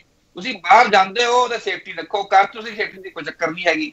ਲੇਕਿਨ ਲੋਕਾਂ ਪਾਸੇ ਵੀ ਮੈਂ ਕਹਾਂਗਾ ਕਿ ਲੋਕਾਂ ਨੇ ਵੀ ਇੱਥੇ ਥੋੜੀ ਥੋੜੇ ਲੀਨੀਅੰਟ ਹੋ ਗਏ ਨੇ ਬਹੁਤ ਜ਼ਿਆਦਾ ਲੀਨੀਅੰਟ ਹੋ ਗਏ ਨੇ। ਥੋੜਾ ਨਹੀਂ ਬਹੁਤ ਜ਼ਿਆਦਾ ਲੀਨੀਅੰਟ ਹੋ ਗਏ ਨੇ। ਤੇ ਉਸ ਕਰਕੇ ਇਹ ਪ੍ਰੋਬਲਮ ਜਿਹੜੀ ਹੈਗੀ ਹੈ ਪੰਜਾਬ ਵਿੱਚ ਸਾਨੂੰ ਇਸ ਟਾਈਮ ਵੱਧਦੀ ਹੋਈ ਨਜ਼ਰ ਆ ਰਹੀ ਹੈ। ਇੱਕ ਦਿਨ ਦੇ ਕਰਫਿਊ ਨਾਲ ਸਰ ਕੀ ਹੋਊਗਾ? ਪੰਜਾਬੀ ਇਹ ਵੀ ਪੁੱਛਦੇ ਪਏ ਨਾਲ ਕਹਿੰਦੇ ਵੀ ਕਰਫਿਊ ਸੰਡੇ ਕਰਫਿਊ ਸੰਡੇ ਲਾਉਂਦੇ ਪਏ ਆ ਕਰੋਨਾ ਸੰਡੇ ਸੰਡੇ ਕੀ ਕਰਦਾ? ਭਾਈ ਕਰੋਨਾ ਨੇ ਸੰਡੇ ਨਹੀਂ ਦੇਖਣਾ ਮੰਡੇ ਨਹੀਂ ਦੇਖਣਾ ਰਾਤ ਨਹੀਂ ਦੇਖਣਾ ਦਿਨ ਨਹੀਂ ਦੇਖਣਾ। ਇੱਕ ਦਿਨ ਦਾ ਕਰਫਿਊ ਜਿਹੜਾ ਹੈਗਾ ਹੈ ਜਸਟ ਇਹ ਆਈ ਵਾਸ਼ ਹੈ ਠੀਕ ਹੈ? ਦਿਖਾਣ ਵਾਸਤੇ ਕੁਝ ਦਿਖਾਣਾ ਵੀ ਪੈਣਾ ਗਵਰਨਮੈਂਟ ਨੂੰ ਵੀ ਗਵਰਨਮੈਂਟ ਦੀ ਮਜਬੂਰੀ ਹੈ ਕਿ ਉਹ ਕੀ ਦਿਖਾਵੇ ਕਿ ਅਸੀਂ ਕੀ ਸਟੈਪਸ ਲੈ ਰਹੇ ਹਾਂ। ਲੇਕਿਨ ਇੱਕ ਦਿਨ ਦਾ ਕਰਫਿਊ ਪੂਰਾ ਦਿਨ 24 ਘੰਟੇ ਲਾ ਦੋ ਉਹ ਕੁਝ ਨਹੀਂ ਬੰਦਾ ਜਿੱਥੇ ਮਤਲਬ ਕਿ ਸਪਰੈਡ ਹੋਣਾ ਹੈ ਉੱਥੇ ਹੋਇਆ ਹੀ ਹੋਇਆ ਹੈ। ਸਪਰੈਡ ਨੂੰ ਆਪਾਂ ਮਾਈਕਰੋ ਜੇ ਸੈਂਟਰ ਬਣਾ ਕੇ ਪ੍ਰੋਪਰ ਤਰੀਕੇ ਨਾਲ ਅਸੀਂ ਕੰਮ ਕਰੀਏ ਅਸੀਂ ਕਨਸੈਂਟਰੇਸ਼ਨ ਕਰੀਏ ਕਿ ਜਿੱਥੇ ਫੈਲਿਆ ਹੋਇਆ ਹੈ ਉਹਨੂੰ ਆਪਾਂ ਮਾਈਕਰੋ ਆਈਸੋਲੇਸ਼ਨ ਦੇ ਦਈਏ। ਲੇਕਿਨ ਕਰਫਿਊ ਤੁਸੀਂ ਲਾ ਦਿਓ ਪੂਰੇ ਓਵਰਆਲ ਪੰਜਾਬ ਦੇ ਵਿੱਚ ਪੂਰੇ ਸੂਬਿਆਂ 'ਚ ਕਰਫਿਊ ਦਿਨ ਲਾ ਦਿਓ ਕੀ ਫ਼ਰਕ ਪਏਗਾ? ਦੱਸੋ ਮੈਨੂੰ। ਕੋਈ ਫ਼ਰਕ ਪੈਣ ਵਾਲਾ ਉਹਦੇ ਵਿੱਚ? ਲੋਕੀ ਸਗੋਂ ਹੋਰ ਹਰਾਸ ਹੋਣਗੇ। ਲੋਕੀ ਹੋਰ ਦੱਬਣਗੇ। ਮੰਡੇ ਨੂੰ ਜਾ ਕੇ ਲੋਕੀ ਹੋਰ ਬਾਹਰ ਘੁੰਮ ਕੇ ਹੋਰ ਝੂਕ ਕੇ ਜਾਣਗੇ ਜੇ ਸੰਡੇ ਦਾ ਕੰਮ ਰੁਕ ਗਿਆ ਜਿਹੜਾ। ਤੇ ਇਹ ਇਹ ਮੈਂ ਨਹੀਂ ਲੌਜੀਕ ਸਮਝਦਾ ਸੰਡੇ ਵਾਲਾ ਦੱਸੋ। ਮੈਂ ਇਹਦੇ ਖਿਲਾਫ ਚਲੋ ਇੱਕ ਹੋਰ ਛੋਟਾ ਬ੍ਰੇਕ ਲਵਾਂਗਾ ਬ੍ਰੇਕ ਤੋਂ ਵਾਪਸ ਆਵਾਂਗੇ। ਅਸੀਂ ਕੋਸ਼ਿਸ਼ ਕਰ ਰਹੇ ਹਾਂ ਕਿ ਤੁਹਾਨੂੰ ਅਸੀਂ ਦੱਸ ਸਕੀਏ ਤੁਹਾਨੂੰ ਅਸੀਂ ਜਾਗਰੂਕ ਕਰ ਸਕੀਏ। ਇਸ ਚਰਚਾ ਦੇ ਵਿੱਚ ਕੋਈ ਰੋਲਾ ਨਹੀਂ ਹੋਊਗਾ ਕੋਈ ਸ਼ੋਰ ਨਹੀਂ ਹੋਊਗਾ। ਇਸ ਕਰਕੇ ਅਸੀਂ ਪੋਲੀਟੀਸ਼ੀਅਨਾਂ ਨੂੰ ਅੱਜ ਦੀ ਚਰਚਾ ਤੋਂ ਪਾਸੇ ਰੱਖਿਆ ਕਿਉਂਕਿ ਉਹ ਤਾਂ ਇੱਕ ਦੂਜੇ ਤੇ ਇਲਜ਼ਾਮ ਲਾ ਕੇ ਪਾਸੇ ਹੋ ਜਾਂਦੇ ਕਿਉਂਕਿ ਉਹਨਾਂ ਕੋਲੇ ਸਿਆਸੀ ਟੀਕੇ ਹੈ ਸਿਆਸੀ ਟੀਕਿਆਂ ਤੋਂ ਇਲਾਵਾ ਉਹਨਾਂ ਕੋਲੇ ਤੁਹਾਡੀ ਸਿਹਤ ਦੇ ਲਈ ਕੋਈ ਇਹੋ ਜੀ ਦਵਾਈ ਨਹੀਂ ਹੈਗੀ ਜਿਹੜੀ ਤੁਹਾਨੂੰ ਦੱਸ ਸਕਣ ਕਿ ਕੀ ਕਰਨਾ ਕਿਉਂਕਿ ਉਹ ਆਪ ਕਰੋਨਾ ਦੇ ਖਿਲਾਫ ਐ ਨਿੱਤਰ ਗਏ ਸੀਗੇ, ਬੈਰੀਕੇਡ ਤੋੜਨ ਲੱਗ ਪਏ ਸੀਗੇ, ਮੁਜ਼ਾਹਰੇ ਕਰਨ ਲੱਗ ਪਏ ਸੀ, ਜਿਵੇਂ ਕਰੋਨਾ ਨਾਂ ਦੀ ਕੋਈ ਚੀਜ਼ ਨਹੀਂ ਹੈਗੀ। ਜਦੋਂ ਉਹ ਇਸ ਤਰੀਕੇ ਨਾਲ ਤੁਹਾਨੂੰ ਸਮਝਾਉਣਗੇ, ਤੁਹਾਨੂੰ ਦੱਸਣਗੇ, ਉਸ ਤੋਂ ਬਾਅਦ ਜਿਹੜੇ ਸਖਤੀ ਸਰਕਾਰ ਨੇ ਕੀਤੀ, ਉਹ ਸਖਤੀ ਦੇ ਵਿਚਾਲੇ ਕੇਸ ਦਰਜ ਕੀਤੇ ਜਾ ਰਹੇ ਆ ਕਾਨੂੰਨ ਭੰਗ ਕਰਨ ਦੇ ਉਹ ਪੁਲਸੀਆ ਤਰੀਕੇ ਨਾਲ ਸਭ ਕੁਝ ਹੱਲ ਕਰਨ ਦੀ ਕੋਸ਼ਿਸ਼ ਕੀਤੀ ਜਾ ਰਹੀ ਹੈ। ਜੇ ਡਾਕਟਰੀ ਤਰੀਕੇ ਨਾਲ, ਮੈਡੀਕਲ ਸਾਇੰਸ ਦੇ ਤਰੀਕੇ ਨਾਲ ਇਸ ਨੂੰ ਹੱਲ ਕਰਨ ਦੀ ਕੋਸ਼ਿਸ਼ ਕੀਤੀ ਜਾਵੇ, ਤੁਹਾਨੂੰ ਅਵੇਅਰ ਕੀਤਾ ਜਾਵੇ, ਤਾਂ ਸ਼ਾਇਦ ਇਹ ਆਕਸੀਮੀਟਰ ਵਾਲੀ ਲੜਾਈ ਪੰਜਾਬ ਵਿੱਚ ਨਾ ਛਿੜਦੀ। ਆਕਸੀਮੀਟਰ ਅਸਲ ਵਿੱਚ ਹੈ ਕੀ ਹੈ, ਉਸ ਨੂੰ ਕਦੇ ਦੱਸਣ ਦੀ ਕੋਸ਼ਿਸ਼ ਨਹੀਂ ਕੀਤੀ ਜਾਂਦੀ। ਇਹ ਦੱਸਿਆ ਜਾਂਦਾ, ਜੇ ਤੁਸੀਂ 10000 15000 ਆਕਸੀਮੀਟਰ ਵੰਡੋਗੇ, ਤਾਂ ਅਸੀਂ 50000 ਵੰਡ ਦਵਾਂਗੇ। ਪਤਾ ਨਹੀਂ ਕਿਉਂ ਇਹੋ ਜਿਹੀ ਲੜਾਈ ਆ ਵਾਪਸ ਆ ਰਹੇ ਹਾਂ। ਪੰਜਾਬ 'ਚ ਕਰੋਨਾ ਕਰਕੇ ਮੌਤ ਦਰ ਦੇਸ਼ ਵਿੱਚ ਸਭ ਤੋਂ ਵੱਧ ਹੋਣ ਦੀ ਵਜ੍ਹਾ ਕੀ ਹੈ? ਡਾਕਟਰ ਬੇਦੀ? ਸਰ ਪੰਜਾਬ ਦੇ ਵਿੱਚ ਇੱਕ ਆਕਸੀਮੀਟਰ ਵਾਲੀ ਸਿਆਸੀ ਲੜਾਈ ਛਿੜੀ ਹੋਈ ਹੈ। ਸਿਆਸੀ ਪਾਰਾ ਇੰਨਾ ਕੁ ਵੱਧ ਗਿਆ, ਇੱਕ ਪਾਸਿਓਂ ਸਾਡੇ ਹੈਲਥ ਮਿਨਿਸਟਰ ਇਹ ਬਿਆਨ ਦਿੰਦੇ ਆ ਕਿ ਕਮਿਊਨਿਟੀ ਸਪਰੈਡ ਹੋ ਜਾਊਗਾ ਜੇ ਆਕਸੀਮੀਟਰ ਇਦਾਂ ਵੰਡੇ ਗਏ। ਉਸ ਤੋਂ ਬਾਅਦ ਬਿਆਨ ਇਹ ਆਉਂਦਾ ਹੈ ਕਿ ਕਮਿਊਨਿਟੀ ਸਪਰੈਡ ਹਜੇ ਹੋਇਆ ਨਹੀਂ। ਉਸ ਤੋਂ ਬਾਅਦ ਨਾਲ ਇਹ ਬਿਆਨ ਆਉਂਦੇ ਆ, ਜਦੋਂ ਅਸੀਂ ਡਾਕਟਰਸ ਨਾਲ ਗੱਲ ਕਰਦੇ ਤੁਹਾਡੇ ਵਰਗੇ ਨਾਲ, ਉਹ ਕਹਿੰਦੇ ਆਕਸੀਮੀਟਰ ਸਮੱਸਿਆ ਦਾ ਹੱਲ ਨਹੀਂ ਹੈਗੀ। ਇਹ ਇੱਕ ਪੋਲੀਟੀਕਲ ਸਟੰਟ ਹੈ। ਡਾਕਟਰ ਬੇਦੀ, ਜਦੋਂ ਦਿੱਲੀ ਮਾਡਲ ਦਾ ਜ਼ਿਕਰ ਪੰਜਾਬ ਦੇ ਵਿੱਚ ਕੀਤਾ ਜਾਂਦਾ ਹੈ, ਤਾਂ ਸਾਡਾ ਸਵਾਲ ਇਹ ਹੁੰਦਾ ਹੈ ਕਿ ਦਿੱਲੀ ਦੇ ਵਿੱਚ ਇਹੋ, ਇਹ ਕਿਹੜੀ ਸ਼ਕਤੀ ਹੈਗੀ ਆ ਜਿਨੇ ਕਰੋਨਾ ਨੂੰ ਰੋਕ ਲਿਆ ਤੇ ਪੰਜਾਬ ਵਿੱਚ ਕਿਹੜੀ ਸ਼ਕਤੀ ਹੈ ਜਿਹੜੀ ਕਰੋਨਾ ਫੈਲਾ ਰਹੀ ਹੈ? ਡਾਕਟਰ ਬੇਦੀ। ਦੇਖੋ, ਇਸ ਤਰ੍ਹਾਂ ਹੈਗਾ ਕਿ ਪਹਿਲੀ ਗੱਲ ਤੇ ਇਹ ਹੈ ਕਿ ਪੰਜਾਬ ਵਿੱਚ ਗਰਾਊਂਡ ਲੈਵਲ ਤੇ ਇਨਫਰਾਸਟ੍ਰਕਚਰ ਜਿਹੜਾ ਹੈਗਾ, ਉਹ ਬਿਲਕੁਲ ਨਾ ਦੇ ਬਰਾਬਰ ਹੈ। ਹੁਣ ਅਸੀਂ ਅਗਰ ਹੋਟਲ ਲੈ ਲਾਂਗੇ, ਸਰਾਂ ਲੈ ਲਾਂਗੇ ਬੈੱਡ ਨੇ ਤੇ ਇਲਾਜ ਕਰਨਾ ਨਹੀਂ। ਡਾਕਟਰ ਇਹਨਾਂ ਕੋਲ ਹੈ ਨਹੀਂ, ਸਟਾਫ ਇਹਨਾਂ ਕੋਲ ਹੈ ਨਹੀਂ, ਦਵਾਈਆਂ ਦਾ ਕੋਈ ਇਹਨਾਂ ਕੋਲ ਸਾਧਨ ਨਹੀਂ ਹੈਗਾ। ਹੁਣ ਮੈਂ ਇੱਥੇ ਕਹਿਣਾ ਚਾਹੁੰਦਾ, ਬੜਾ ਸਿੰਪਲ ਸੋਲੂਸ਼ਨ ਸੀਗਾ। ਸਿੰਪਲ ਸੋਲੂਸ਼ਨ ਇਹ ਸੀਗਾ ਕਿ ਇਹ ਪ੍ਰਾਈਵੇਟ ਹਸਪਤਾਲਾਂ ਨੂੰ ਗ੍ਰਾਂਟ ਦਿੰਦੇ। ਗਵਰਨਮੈਂਟ ਕੇ ਤੀਸਰਾ ਹਿੱਸਾ ਜਿਹੜਾ ਹੈਗਾ, ਉਹ ਗਵਰਨਮੈਂਟ ਉਹਨਾਂ ਨੂੰ ਖਰਚਾ ਲਏ। ਬਾਕੀ ਤੀਸਰਾ ਹਿੱਸਾ ਪੇਸ਼ੈਂਟ ਦੇ ਕੋਲ ਹੋਣਾ ਚਾਹੀਦਾ ਔਰ ਤੀਸਰੇ ਹਿੱਸੇ ਵਿੱਚ ਹਸਪੀਟਲ ਜਿਹੜਾ ਹੈਗਾ ਉਹਦੇ ਨਾਲ ਇਲਾਜ ਕਰੇ। ਜੇ ਤੁਸੀਂ ਇਹ ਕਹੋ ਕਿ ਵੀ ਇਹਦੇ ਤੇ ਪੈਸਾ ਖਰਚਣਾ ਹੀ ਨਹੀਂ ਹੈ ਔਰ ਇਲਾਜ ਜਿਹੜਾ ਹੈਗਾ ਪੈਸੇ ਦੇ ਬਗੈਰ ਹੋ ਜਾਏਗਾ, ਸੋ ਇਹ ਜਿਹੜੀ ਇੱਕ ਮੁਹਿੰਮ ਚੱਲੀ ਹੋਈ ਹੈ ਕਿ ਡਾਕਟਰ ਲੁੱਟਦੇ ਨੇ, ਇਹ ਕਹਾਣੀ ਹੈ, ਇਹ ਜਿਹੜੀ ਹੈਗੀ ਇਹਦੇ ਕਰਕੇ ਲੋਕੀ ਲੇਟ ਜਾ ਰਹੇ ਨੇ ਪ੍ਰੋਪਰ ਇਲਾਜ ਜਿਹੜਾ ਹੋ ਰਿਹਾ ਉਹ ਲੇਟ ਹੋ ਰਿਹਾ ਹੈ ਔਰ ਇਹਦੇ ਕਰਕੇ ਇਹ ਜਿਹੜੀਆਂ ਲੋਕੀ ਸੀਰੀਅਸ ਵੀ ਜਿਹੜੇ ਜਲਦੀ ਹੋ ਰਹੇ ਡਾਕਟਰ ਬੇਦੀ ਆਪਾਂ ਥੋੜਾ ਜਿਹਾ ਮੈਨੂੰ ਸਵਾਲ ਹੋਰ ਪਾਸੇ ਲੈ ਗਏ। ਮੇਰਾ ਸਵਾਲ ਇਹ ਸੀਗਾ ਆਕਸੀਮੀਟਰ ਸਰ ਆਕਸੀਮੀਟਰ ਦਾ ਰੋਲ ਕੀ ਹੁੰਦਾ? ਉਹ ਕਿ ਦਿੱਲੀ 'ਚ ਆਕਸੀਮੀਟਰ ਨੇ ਹਾਲਾਤ ਜਿਹੜੇ ਦਰੁਸਤ ਕਰਤੇ ਡਾਕਟਰ ਬੇਦੀ। ਯੈਸ ਹੁਣ ਆਕਸੀਮੀਟਰ ਜਿਹੜਾ ਹੈਗਾ ਹੈ ਇਹ ਇਹਦਾ ਵੀ ਇਨਫਰਾਸਟ੍ਰਕਚਰ ਨਾਲ ਤਲਕ ਹੈਗਾ ਆਕਸੀਮੀਟਰ ਕੀ ਚੀਜ਼ ਹੈ? ਉਹ ਅਗਰ ਤੁਸੀਂ ਤੁਹਾਡੇ ਹੱਥ ਵਿੱਚ ਤੁਸੀਂ ਲਗਾ ਕੇ ਉਹਦੇ ਵਿੱਚ ਦੇਖ ਸਕਦੇ ਹੋ ਕਿ ਤੁਹਾਡੀ ਬਾਡੀ ਵਿੱਚ ਆਕਸੀਜਨ ਸੈਚੂਰੇਸ਼ਨ ਕਿੰਨੀ ਹੈ? ਅਗਰ ਤੁਸੀਂ ਥੋੜਾ ਜਿਹਾ ਐਕਸਰਸਾਈਜ਼ ਕਰਨ ਤੋਂ ਬਾਅਦ ਤੁਹਾਡੀ ਆਕਸੀਜਨ ਬਾਡੀ ਦੇ ਵਿੱਚ ਘਟਦੀ ਹੈ 90 ਤੋਂ ਘਟਦੀ ਹੈ ਇਹਦਾ ਮਤਲਬ ਤੁਹਾਡੇ 'ਚ ਇਹੋ ਜਿਹੇ ਲੱਛਣ ਹੈਗੇ ਨੇ ਜਿਹੜੇ ਕੋਰੋਨਾ ਦੇ ਨਾਲ ਸੰਬੰਧਿਤ ਨੇ। ਸੋ ਇਹ ਜਿਹੜੇ ਆਕਸੀਮੀਟਰ ਹੋਣੇ ਬੜੇ ਲਾਜ਼ਮ ਨੇ। ਹੁਣ ਕਿਉਂਕਿ ਸਰਕਾਰਾਂ ਇਹ ਕਹਿ ਰਹੀਆਂ ਕਿ ਸੈਂਟਰ ਸਾਨੂੰ ਪੈਸੇ ਨਹੀਂ ਦੇ ਰਹੀ ਨਹੀਂ ਡਾਕਟਰ ਬੇਦੀ ਡਾਕਟਰ ਬੇਦੀ ਮੈਂ ਤੁਹਾਡੀ ਗੱਲ ਨਾਲ ਸਰ ਸਹਿਮਤ ਹਾਂ ਆਕਸੀਮੀਟਰ ਹੋਣੇ ਲਾਜ਼ਮੀ ਹੈ। ਪਰ ਮੇਰਾ ਸਵਾਲ ਹੈ, ਸਰ, ਆਕਸੀਮੀਟਰ ਵੰਡਾਂਗੇ, ਚੈੱਕ ਕਰਾਂਗੇ, ਇਸ ਦੇ ਨਾਲ ਜੁੜਿਆ ਹੋਇਆ ਹੈ। ਜੇ ਆਕਸੀਜਨ ਦਾ ਲੈਵਲ ਡਾਊਨ ਹੁੰਦਾ ਜਾਂ ਜ਼ਿਆਦਾ ਹੁੰਦਾ ਜਾਂ ਘੱਟ ਵਾ ਜੋ ਵੀ ਹੁੰਦਾ ਸਰ, ਮੇਰਾ ਸਵਾਲ ਹੈ ਕੱਲਾ ਕਰੋਨਾ ਦੇ ਲੱਛਣ ਤਾਂ ਨਹੀਂ ਹੋ ਸਕਦੇ ਉਹ? ਜਿੰਨੀ ਸਰ ਮੈਡੀਕਲ ਸਾਇੰਸ ਨੂੰ ਅਸੀਂ ਸਮਝਦੇ ਹਾਂ ਉਹਦੇ ਵਿੱਚ ਤੁਹਾਨੂੰ ਹੋਰ ਵੀ ਦਿੱਕਤ ਕਿਡਨੀ ਦੀ ਦਿੱਕਤ ਵੀ ਹੋ ਸਕਦੀ ਹੈ। ਕੋਈ ਹੋਰ ਸਰ ਤੁਹਾਨੂੰ ਬਿਮਾਰੀ ਹੋ ਸਕਦੀ ਹੈ ਦਿਲ ਦਾ ਰੋਗ ਹੋ ਸਕਦਾ ਹੈ। ਉਹਦੇ ਕਰਕੇ ਵੀ ਤੁਹਾਡੀ ਆਕਸੀਜਨ ਲੰਗਸ 'ਚ ਪ੍ਰੋਬਲਮ ਹੋ ਸਕਦੀ ਹੈ। ਉਹਦੇ ਕਰਕੇ ਵੀ ਆਕਸੀਜਨ ਦਾ ਲੈਵਲ ਅਪ ਡਾਊਨ ਹੁੰਦਾ ਸਰ। ਉਹ ਤਾਂ ਕਰੋਨਾ ਕੱਲਾ ਕਰੋਨਾ ਤਾਂ ਨਹੀਂ ਕਹਿ ਸਕਦੇ ਅਸੀਂ। ਆਕਸੀਮੀਟਰ ਨਾਲ ਦੇਖ ਲਿਆ ਜੀ 90 ਤੋਂ ਘਟ ਗਈ ਤੇ ਤੁਹਾਨੂੰ ਕਰੋਨਾ ਬਿਲਕੁਲ।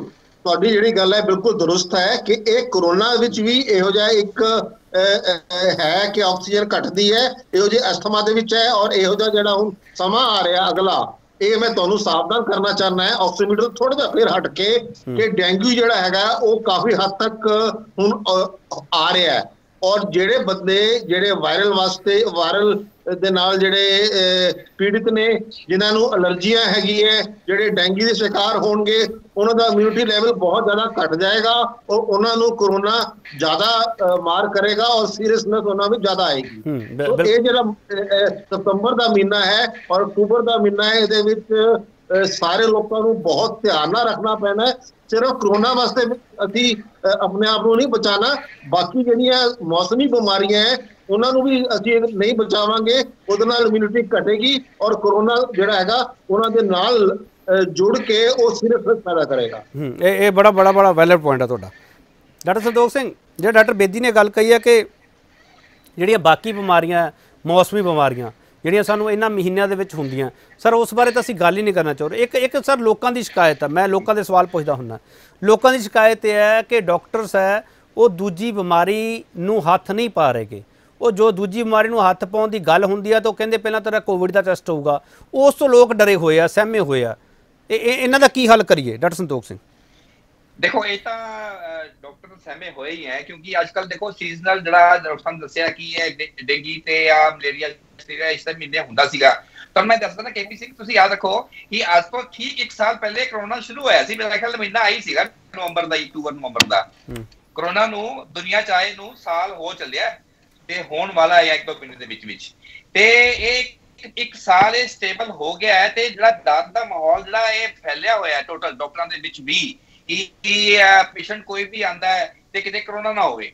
ਜਿਸ ਤਰ੍ਹਾਂ ਸਾਡੇ ਕੋਲ ਕੋਈ ਡੀਹਾਈਡਰੇਸ਼ਨ ਦਾ ਕੇਸ ਆਂਦਾ ਹੈ ਅਸੀਂ ਐਡਮਿਟ ਕਰਨਾ ਹੈ ਕਿਸੇ ਘਰ ਦੇ ਆਪਣੇ ਹਸਪੀਟਲ ਦੇ ਵਿੱਚ। ਤੇ ਅਸੀਂ ਕੀ ਕਰਦੇ ਹਾਂ ਕਿ ਪਹਿਲੇ ਕਰੋਨਾ ਚੈੱਕ ਕਰਦੇ ਹਾਂ। ਇਹ ਡਾਕਟਰਸ ਦੀ ਕੁਝ ਮਜਬੂਰੀ ਵੀ ਹੈ ਤੇ ਕੁਝ ਨੈਸੈਸਿਟੀ ਵੀ ਹੈਗੀ ਹੈ। ਜਦ ਤੱਕ ਪੇਸ਼ੈਂਟ ਡਾਕਟਰ ਦੇ ਕੋਲ ਅਗਰ ਇੰਡੋਰ ਹੁੰਦਾ ਹੈ ਇੰਡੋਰ ਹੁੰਦਾ ਹੈ ਤੇ ਕਰੋਨਾ ਚੈੱਕ ਉੱਥੇ ਮੇਰੇ ਹਿਸਾਬ ਨਾਲ ਤਾਂ ਹੋਣਾ ਹੀ ਚਾਹੀਦਾ ਹੈ ਕਿ ਬਾਕੀ ਪੇਸ਼ੈਂਟ ਕਿਸੇ ਬਚਾਣੇ ਆ। ਲੇਕਿਨ ਜਿਹੜੇ ਆਮ ਬੰਦੇ ਆ ਜਿਨ੍ਹਾਂ ਨੂੰ ਆਮ ਛੋਟੀਆਂ ਮੋਟੀਆਂ ਫਲੂ ਹੁੰਦਾ ਪਿਆ ਹੈ ਰੀਨੋ ਵਾਇਰਸ ਹੁੰਦਾ ਸੀਗਾ ਇਸ ਪਿੰਡ ਦੇ ਵਿੱਚ ਆਮ ਫਲੂ ਹੁੰਦਾ ਸੀ ਸੀਜ਼ਨਲ ਫਲੂ ਹੁੰਦਾ ਸੀਗਾ ਤੇ ਜਿਹੜੇ ਆ ਡੇਂਗੂ ਹੁੰਦੇ ਸੀਗੇ ਹੁਣ ਜਿਹਨੂੰ ਫੀਵਰ ਹੋਏਗਾ ਤੇ ਡਾਕਟਰਾਂ ਨੇ ਪਹਿਲੇ ਕਹਿਣਾ ਕਿ ਕਰੋਨਾ ਚੈੱਕ ਕਰਾਓ ਹੈਨਾ ਤੇ ਉਹ ਤਾਂ ਹੁਣ ਇੱਕ ਇਹ ਕੰਪਲਿਕੇਸ਼ਨ ਆਉਣ ਵਾਲੀ ਹੈ ਕਿਉਂਕਿ ਇਹ ਸਕਰੀਨੋਂ ਪਹਿਲੇ ਕਦੀ ਆਇਆ ਨਹੀਂ ਇਹ ਫਸਟ ਟਾਈਮ ਆਇਆ ਹੈ। ਤੇ ਇਹ ਜਿਹੜੀ ਚੀਜ਼ ਹੋਏਗੀ ਇਹ ਗਲਤ ਹੀ ਹੋਏਗੀ ਕਿਉਂਕਿ ਇਹਦੇ ਸਾਰਾ ਖਰਚਾ ਸਾਰਾ ਬੋਝ ਹੈਗਾ ਇਹ ਪੇਸ਼ੈਂਟ ਤੇ ਪੈਣ ਵਾਲਾ ਹੈ।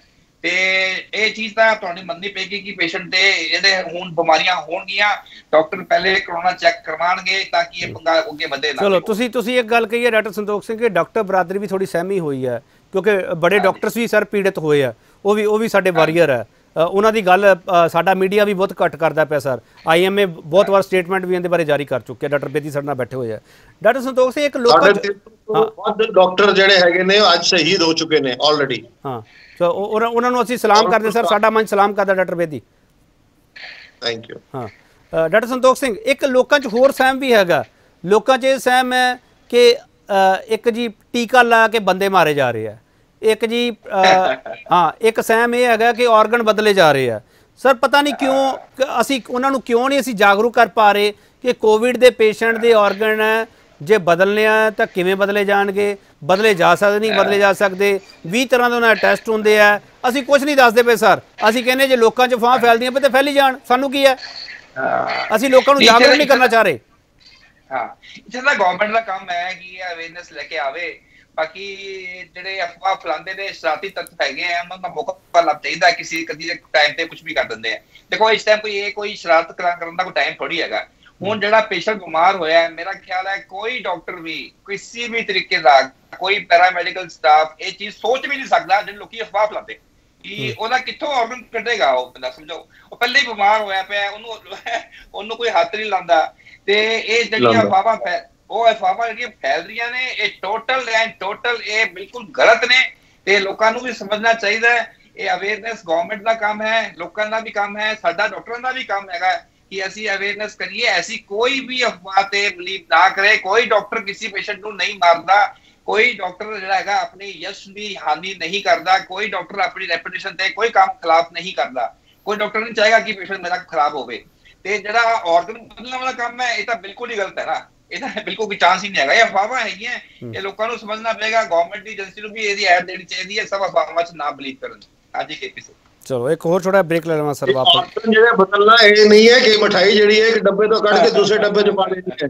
ਇਹ ਆਰਗਨ ਬਦਲਣ ਵਾਸਤੇ ਬਹੁਤ ਵੱਡੇ ਜਿਹੜੇ ਇਕਵਿਪਮੈਂਟ ਚਾਹੀਦੇ ਨੇ ਕਈ ਕੁਝ ਚਾਹੀਦਾ ਇਵਨ ਪੀਜੀਆਈ ਵਿੱਚ ਵੀ ਆਰਗਨ ਅਗਰ ਬਦਲਣ ਦੀ ਕੋਸ਼ਿਸ਼ ਕਰਦੇ ਨੇ ਤੇ 100 ਵਿੱਚੋਂ 15 20 ਜਿਹੜੇ ਹੈਗੇ ਨੇ ਉਹ ਸਫਲ ਹੁੰਦੇ ਤੇ ਬਾਕੀ ਲੋਕੀ ਉਹ ਵੀ ਸਫਲ ਨਹੀਂ ਹੁੰਦੇ। ਤਾਂ ਇਹ ਇਹ ਜਿਹੜਾ ਹੈਗਾ ਇਹ ਬਹੁਤ ਹੀ ਵੱਡੀ ਇੱਕ ਅਜੀਬ ਜੀ ਗੱਲ ਹੈ। ਡਾਕਟਰ ਬੇਦੀ ਇੱਕ ਇੱਕ ਚੀਜ਼ ਇਹ ਵੀ ਸਾਫ਼ ਕਰ ਦਿਓ ਸਰ ਪੰਜਾਬ ਕੋਲੇ ਇਹੋ ਜਿਹੇ ਹਸਪਤਾਲ ਹੈਗੇ ਜਿੱਥੇ ਆਰਗਨ ਬਦਲੇ ਜਾ ਸਕਣ ਅ ਨਹੀਂ। ਪੀਜੀਆਈ ਤੋਂ ਇਲਾਵਾ ਮੇਰੇ ਹਿਸਾਬ ਨਾਲ ਆਰਗਨ ਬਦਲਣ ਦੀ ਜਾਂ ਆਰਗਨ ਟ੍ਰਾਂਸਪਲਾਂਟ ਦੀ ਕੋਈ ਵੀ ਇਹੋ ਜੀ ਜਿਹੜੀ ਫੈਸਿਲਿਟੀ ਪੰਜਾਬ ਦੇ ਵਿੱਚ ਨਹੀਂ ਹੈ। ਚਲੋ ਬਹੁਤ ਮੈਂ ਇੱਕ ਇੱਕ ਗੱਲ ਤੇ ਆਣਾ ਚਾਹੂੰਗਾ ਕਿ ਸਾਨੂੰ ਇਸ ਵੇਲੇ ਪੰਜਾਬ ਨੂੰ ਸਾਰੇ ਸਰਕਾਰਾਂ ਨੂੰ ਬੜਾ ਕਲੀਅਰ ਤਰ੍ਹਾਂ ਨਾਲ ਲੋਕਾਂ ਨੂੰ ਦੱਸਣਾ ਪਏਗਾ ਕਿ ਇਹ ਕੋਵਿਡ ਦੇ ਹਸਪਤਾਲ ਨੇ ਇਹ ਨਾਨ ਕੋਵਿਡ ਹਸਪਤਾਲ ਨੇ। ਕਿਉਂਕਿ ਲੋਕੀ ਜਿਹੜੇ ਹੈਗੇ ਜਿਵੇਂ ਉਹਨਾਂ ਨੂੰ ਕੋਵਿਡ ਹੁੰਦਾ ਹੈ ਤੇ ਉਹ ਵਿਚਾਰੇ ਇੱਕ ਹਸਪਤਾਲ ਤੋਂ ਦੂਜੇ ਹਸਪਤਾਲ ਦੂਜੇ ਤੋਂ ਤੀਜੇ ਹਸਪਤਾਲ ਇੱਕ ਸ਼ਹਿਰ ਤੋਂ ਦੂਸਰੇ ਸ਼ਹਿਰ ਉਹ ਇੰਨਾ ਪਰੇਸ਼ਾਨ ਹੋ ਜਾਂਦੇ ਨੇ ਔਰ ਇਹਦੇ ਵਿੱਚ ਲੇਟ ਹੋ ਜਾਂਦੇ ਨੇ ਔਰ ਇਹਦੇ ਕਰਕੇ ਜਿਹੜਾ ਲੇਟ ਹੋਣ ਹੋਣ ਕਰਕੇ ਸੀਰੀਅਸਨੈਸ ਜਿਹੜੀ ਹੈ ਉਹ ਜ਼ਿਆਦਾ ਵੱਧ ਜਾਂਦੀ ਹੈ। ਔਰ ਦੂਸਰੀ ਗੱਲ ਇਹ ਹੈ ਕਿ ਜਦ ਤੱਕ ਇਹ ਪ੍ਰਾਈਵੇਟ ਹਸਪੀਟਲਸ ਨੂੰ ਉਹਨਾਂ ਨੂੰ ਜਿਹੜੀ ਹੈਗੀ ਹੈ, ਪੈਸੇ ਨਾਲ ਸਹਾਇਤਾ ਨਹੀਂ ਕਰਨਗੇ, ਕਿਉਂਕਿ ਟ੍ਰੀਟਮੈਂਟ ਇਹ ਜਿਹੜੀ ਵੈਂਟੀਲੇਟਰ ਹੈ ਜਾਂ ਆਈਸੀਯੂ ਟ੍ਰੀਟਮੈਂਟ ਹੈ, ਇਹ ਬਹੁਤ ਮਹਿੰਗੀ ਟ੍ਰੀਟਮੈਂਟ ਹੈਗੀ ਹੈ। ਇਹਨੂੰ ਅਸੀਂ ਨਹੀਂ ਸਮਝਾਂਗੇ, ਸਰਕਾਰਾਂ ਉਹਨੂੰ ਨਹੀਂ ਮਦਦ ਕਰਨਗੀਆਂ ਤੇ ਇਹ ਜਿਹੜੀਆਂ, ਇਹਦੇ ਤੇ ਅਸੀਂ ਕਾਬੂ ਨਹੀਂ ਪਾ ਪਾਵਾਂਗੇ। ਠੀਕ ਹੈ ਠੀਕ ਹੈ। ਇੱਕ ਹੋਰ ਥੋੜਾ ਬ੍ਰੇਕ ਲੈ ਕੇ ਵਾਪਸ ਆ ਰਿਹਾ, ਸਰ। ਆਖਰੀ ਹਿੱਸੇ ਵਿੱਚ ਅਸੀਂ ਹੋਵਾਂਗੇ। ਅਸੀਂ ਜਿਹੜਾ ਸਮਾਜ ਤੇ ਡਾਕਟਰਾਂ ਵਿੱਚ ਜਿਹੜਾ ਪਿਆ ਹੈਗਾ ਅਸੀਂ ਕੋਸ਼ਿਸ਼ ਕਰਦੇ ਹਾਂ ਕਿ ਉਹ ਪਾੜਾ ਕੱਟਣਾ ਚਾਹੀਦਾ ਹੈ। ਡਾਕਟਰ ਹੈ ਜਿਹੜੇ ਉਹ ਤੁਹਾਡੀ ਭਲਾਈ ਲਈ ਕੰਮ ਕਰਦੇ ਆ, ਤੁਸੀਂ ਉਹਨਾਂ ਤੋਂ ਦਿਸ਼ਾ ਨਿਰਦੇਸ਼ ਲੈ ਕੇ ਤੁਸੀਂ ਅੱਗੇ ਵਧੋ। ਪਰ ਸਵਾਲ ਇਹ ਹੈਗਾ ਕਿ ਜਿਹੜੇ ਡਾਕਟਰਸ ਨੂੰ ਸਹੂਲਤ ਮਿਲਣੀ ਚਾਹੀਦੀ ਹੈ, ਜਿਹੜੇ ਡਾਕਟਰਸ ਨੂੰ ਜਿਹੜਾ ਕੰਮ ਕਰਨਾ ਚਾਹੀਦਾ ਕਿ ਉਹ ਕਰ ਪਾ ਰਹੇ ਆ? ਨਰਸਿੰਗ ਸਟਾਫ ਹੈ ਸਾਡਾ, ਉਹ ਸੜਕਾਂ ਤੇ ਕਿਉਂ ਹੈਗਾ? ਸਵਾਲ ਉਹਨਾਂ ਦਾ ਵੀ ਹੈਗਾ। ਜਿਹੜੇ ਕੱਚੇ ਕਾਮੇ ਆ ਉਹਨਾਂ ਨੂੰ ਪੱਕੇ ਕਦੋਂ ਕੀਤਾ ਜਾਊਗਾ? ਜਿਹੜੇ ਸਾਡੇ ਕੋਲੇ ਸਪੈਸ਼ਲਿਸਟ ਡਾਕਟਰ ਹੈ ਜਾਂ ਹੋਰ ਸਿਹਤ ਸਹੂਲਤਾਂ ਹੈਗੀਆਂ, ਉਹਨਾਂ ਦੀ ਕਮੀ ਕਿਉਂ ਪੇਸ਼ ਰਹਿੰਦੀ ਹੈਗੀ ਹੈ? ਵਾਪਸ ਆ ਕੇ ਇਹ ਸਵਾਲ ਹੋਵੇਗਾ ਜ਼ਰੂਰ। ਪੰਜਾਬ 'ਚ ਕਰੋਨਾ ਕਰਕੇ ਮੌਤ ਦਰ ਦੇਸ਼ 'ਚ ਸਭ ਤੋਂ ਵੱਧ ਹੋਣ ਦੀ ਵਜ੍ਹਾ ਕੀ ਹੈ? ਅਸੀਂ ਤਕਰੀਬਨ ਉਹ ਸਾਰੇ ਪੁਆਇੰਟ ਹੈ ਇਸ ਚਰਚਾ ਦੇ ਵਿੱਚ ਡਿਸਕਸ ਕੀਤੇ ਹੈ ਡਾਕਟਰ ਸੰਤੋਖ ਸਿੰਘ ਇੱਕ ਡਾਕਟਰਸ ਦਾ ਵੀ ਪੁਆਇੰਟ ਹੈਗਾ ਸਰ ਡਾਕਟਰਸ ਦਾ ਇਹ ਪੁਆਇੰਟ ਹੈ ਕੁਝ ਜਿਹੜੇ ਤੁਹਾਡੇ ਜੂਨੀਅਰ ਡਾਕਟਰ ਹੈ ਪੀਜੀ ਵਾਲੇ ਆ ਉਹ ਇਹ ਕਹਿੰਦੇ ਪਏ ਕਿ ਸਾਨੂੰ ਸੀਨੀਅਰ ਡਾਕਟਰ ਹੈ, ਉਹ ਸਾਨੂੰ ਪੀਪੀ ਕਿੱਟ ਪਾ ਕੇ ਅੰਦਰ ਧੱਕਦੇ ਪਏ ਆ ਕੋਵਿਡ ਸੈਂਟਰ 'ਚ। ਇੱਕ ਸਵਾਲ ਇਹ ਹੈ ਸਰ ਡਾਕਟਰ ਸੰਤੋਖ ਸਿੰਘ। ਇਹ ਮੇਰਾ ਖਾ ਜ਼ਮੀਨ ਦਾ ਸਵਾਲ ਆ, ਤੁਹਾਨੂੰ ਇਹ ਪਤਾ ਹੋਊਗਾ ਇਸ ਬਾਰੇ। ਦੂਜਾ ਸਵਾਲ ਇਹ ਹੈ ਸਰ ਕਿ ਜਿਹੜੇ ਵੱਡੇ ਡਾਕਟਰ ਹੈ ਉਹ ਸੁਪਰਵੀਜ਼ਨ ਕਰਦੇ ਪਏ ਆ ਜਾਂ ਉਹ ਵਾਕਈ ਇਸ ਕਰੋਨਾ ਦੀ ਜੰਗ ਵਿੱਚ ਅੱਗੇ ਹੋ ਕੇ ਹਿੱਸਾ ਲੈ ਰਹੇ ਆ? ਜਿਵੇਂ ਇਹਨਾਂ ਨੇ ਕਿਹਾ ਕਿ 350 ਡਾਕਟਰ ਇਸ ਪੂਰੇ ਕੋਵਿਡ 19 ਦੇ ਪੀਰੀਅਡ ਦੇ ਦੌਰਾਨ ਆਪਣੀ ਜਾਨ ਗਵਾ ਚੁੱਕੇ ਆ। ਅਸੀਂ ਸਰ ਡਾਕਟਰ ਤੇ ਸ਼ੱਕ ਨਹੀਂ ਕਰਨਾ ਚਾਹੁੰਦੇਗੇ ਪਰ ਜੋ ਜ਼ਮੀਨ ਤੇ ਸਾਡੇ ਕੋਲ ਰਿਪੋਰਟ ਮਿਲੀ ਹੈ ਉਹਦਾ ਸਵਾਲ ਹੈ ਸਰ। ਤੇ ਦੂਜਾ ਸਵਾਲ ਮੇਰਾ ਨਾਲ ਇਹ ਹੈ ਸਰ, ਨਰਸਿੰਗ ਸਟਾਫ ਆ ਦਿਨ ਸੜਕਾਂ ਤੇ ਹੈ ਕੱਚੇ ਜਿਹੜੇ ਕੰਮ ਆ, ਆਰਜੀ ਕੰਮ ਆ, ਉਹਨਾਂ ਨੂੰ ਪੱਕੇ ਕਰਨ ਦੀ ਮੰਗ ਵਾਰ-ਵਾਰ ਉੱਠਦੀ ਰਹਿੰਦੀ ਹੈ। ਇਹ ਸਰ ਦੋ ਸਵਾਲਾਂ ਦਾ ਜਵਾਬ ਦੇ ਦਿਓ, ਡਾਕਟਰ ਸੰਤੋਖ ਸਿੰਘ। ਦੇਖੋ, ਜਿਹੜੇ ਥੱਲੇ ਥੱਲੇ ਵਾਲੇ ਸਟਾਫ ਹੈਗਾ ਜਿਹੜਾ ਜੂਨੀਅਰ ਸਟਾਫ ਹੈਗਾ, ਜਿਹੜਾ ਪੈਰਾਮੈਡੀਕਲ ਸਟਾਫ ਹੈ ਨਰਸਿੰਗ ਸਟਾਫ ਹੈ ਡਰੈਸਿੰਗ ਸਟਾਫ ਹੈਗਾ, ਇਹਨਾਂ ਨੂੰ ਪ੍ਰੋਪਰ ਸਾਰੀਆਂ ਪੀਪੀਈ ਕਿਟ ਦੇਣੀਆਂ ਚਾਹੀਦੀਆਂ। ਇਹ ਡਾਕਟਰਸ ਨੂੰ ਜਿੰਨੀ ਸਿਕਿਉਰਿਟੀ ਮਿਲਦੀ ਹੈ ਇਹ ਕਰੋਨਾ ਤੋਂ ਬਚਣ ਵਾਸਤੇ, ਇਹਨਾਂ ਨੂੰ ਕੋਈ ਇਹਨਾਂ 'ਚ ਵਾਂਡਾ ਨਹੀਂ ਹੋਣਾ ਚਾਹੀਦਾ। ਇਹ ਸੇਮ ਉਸੇ ਤਰੀਕੇ ਦੀ ਸਿਕਿਉਰਿਟੀ ਮਿਲਣੀ ਚਾਹੀਦੀ ਹੈ।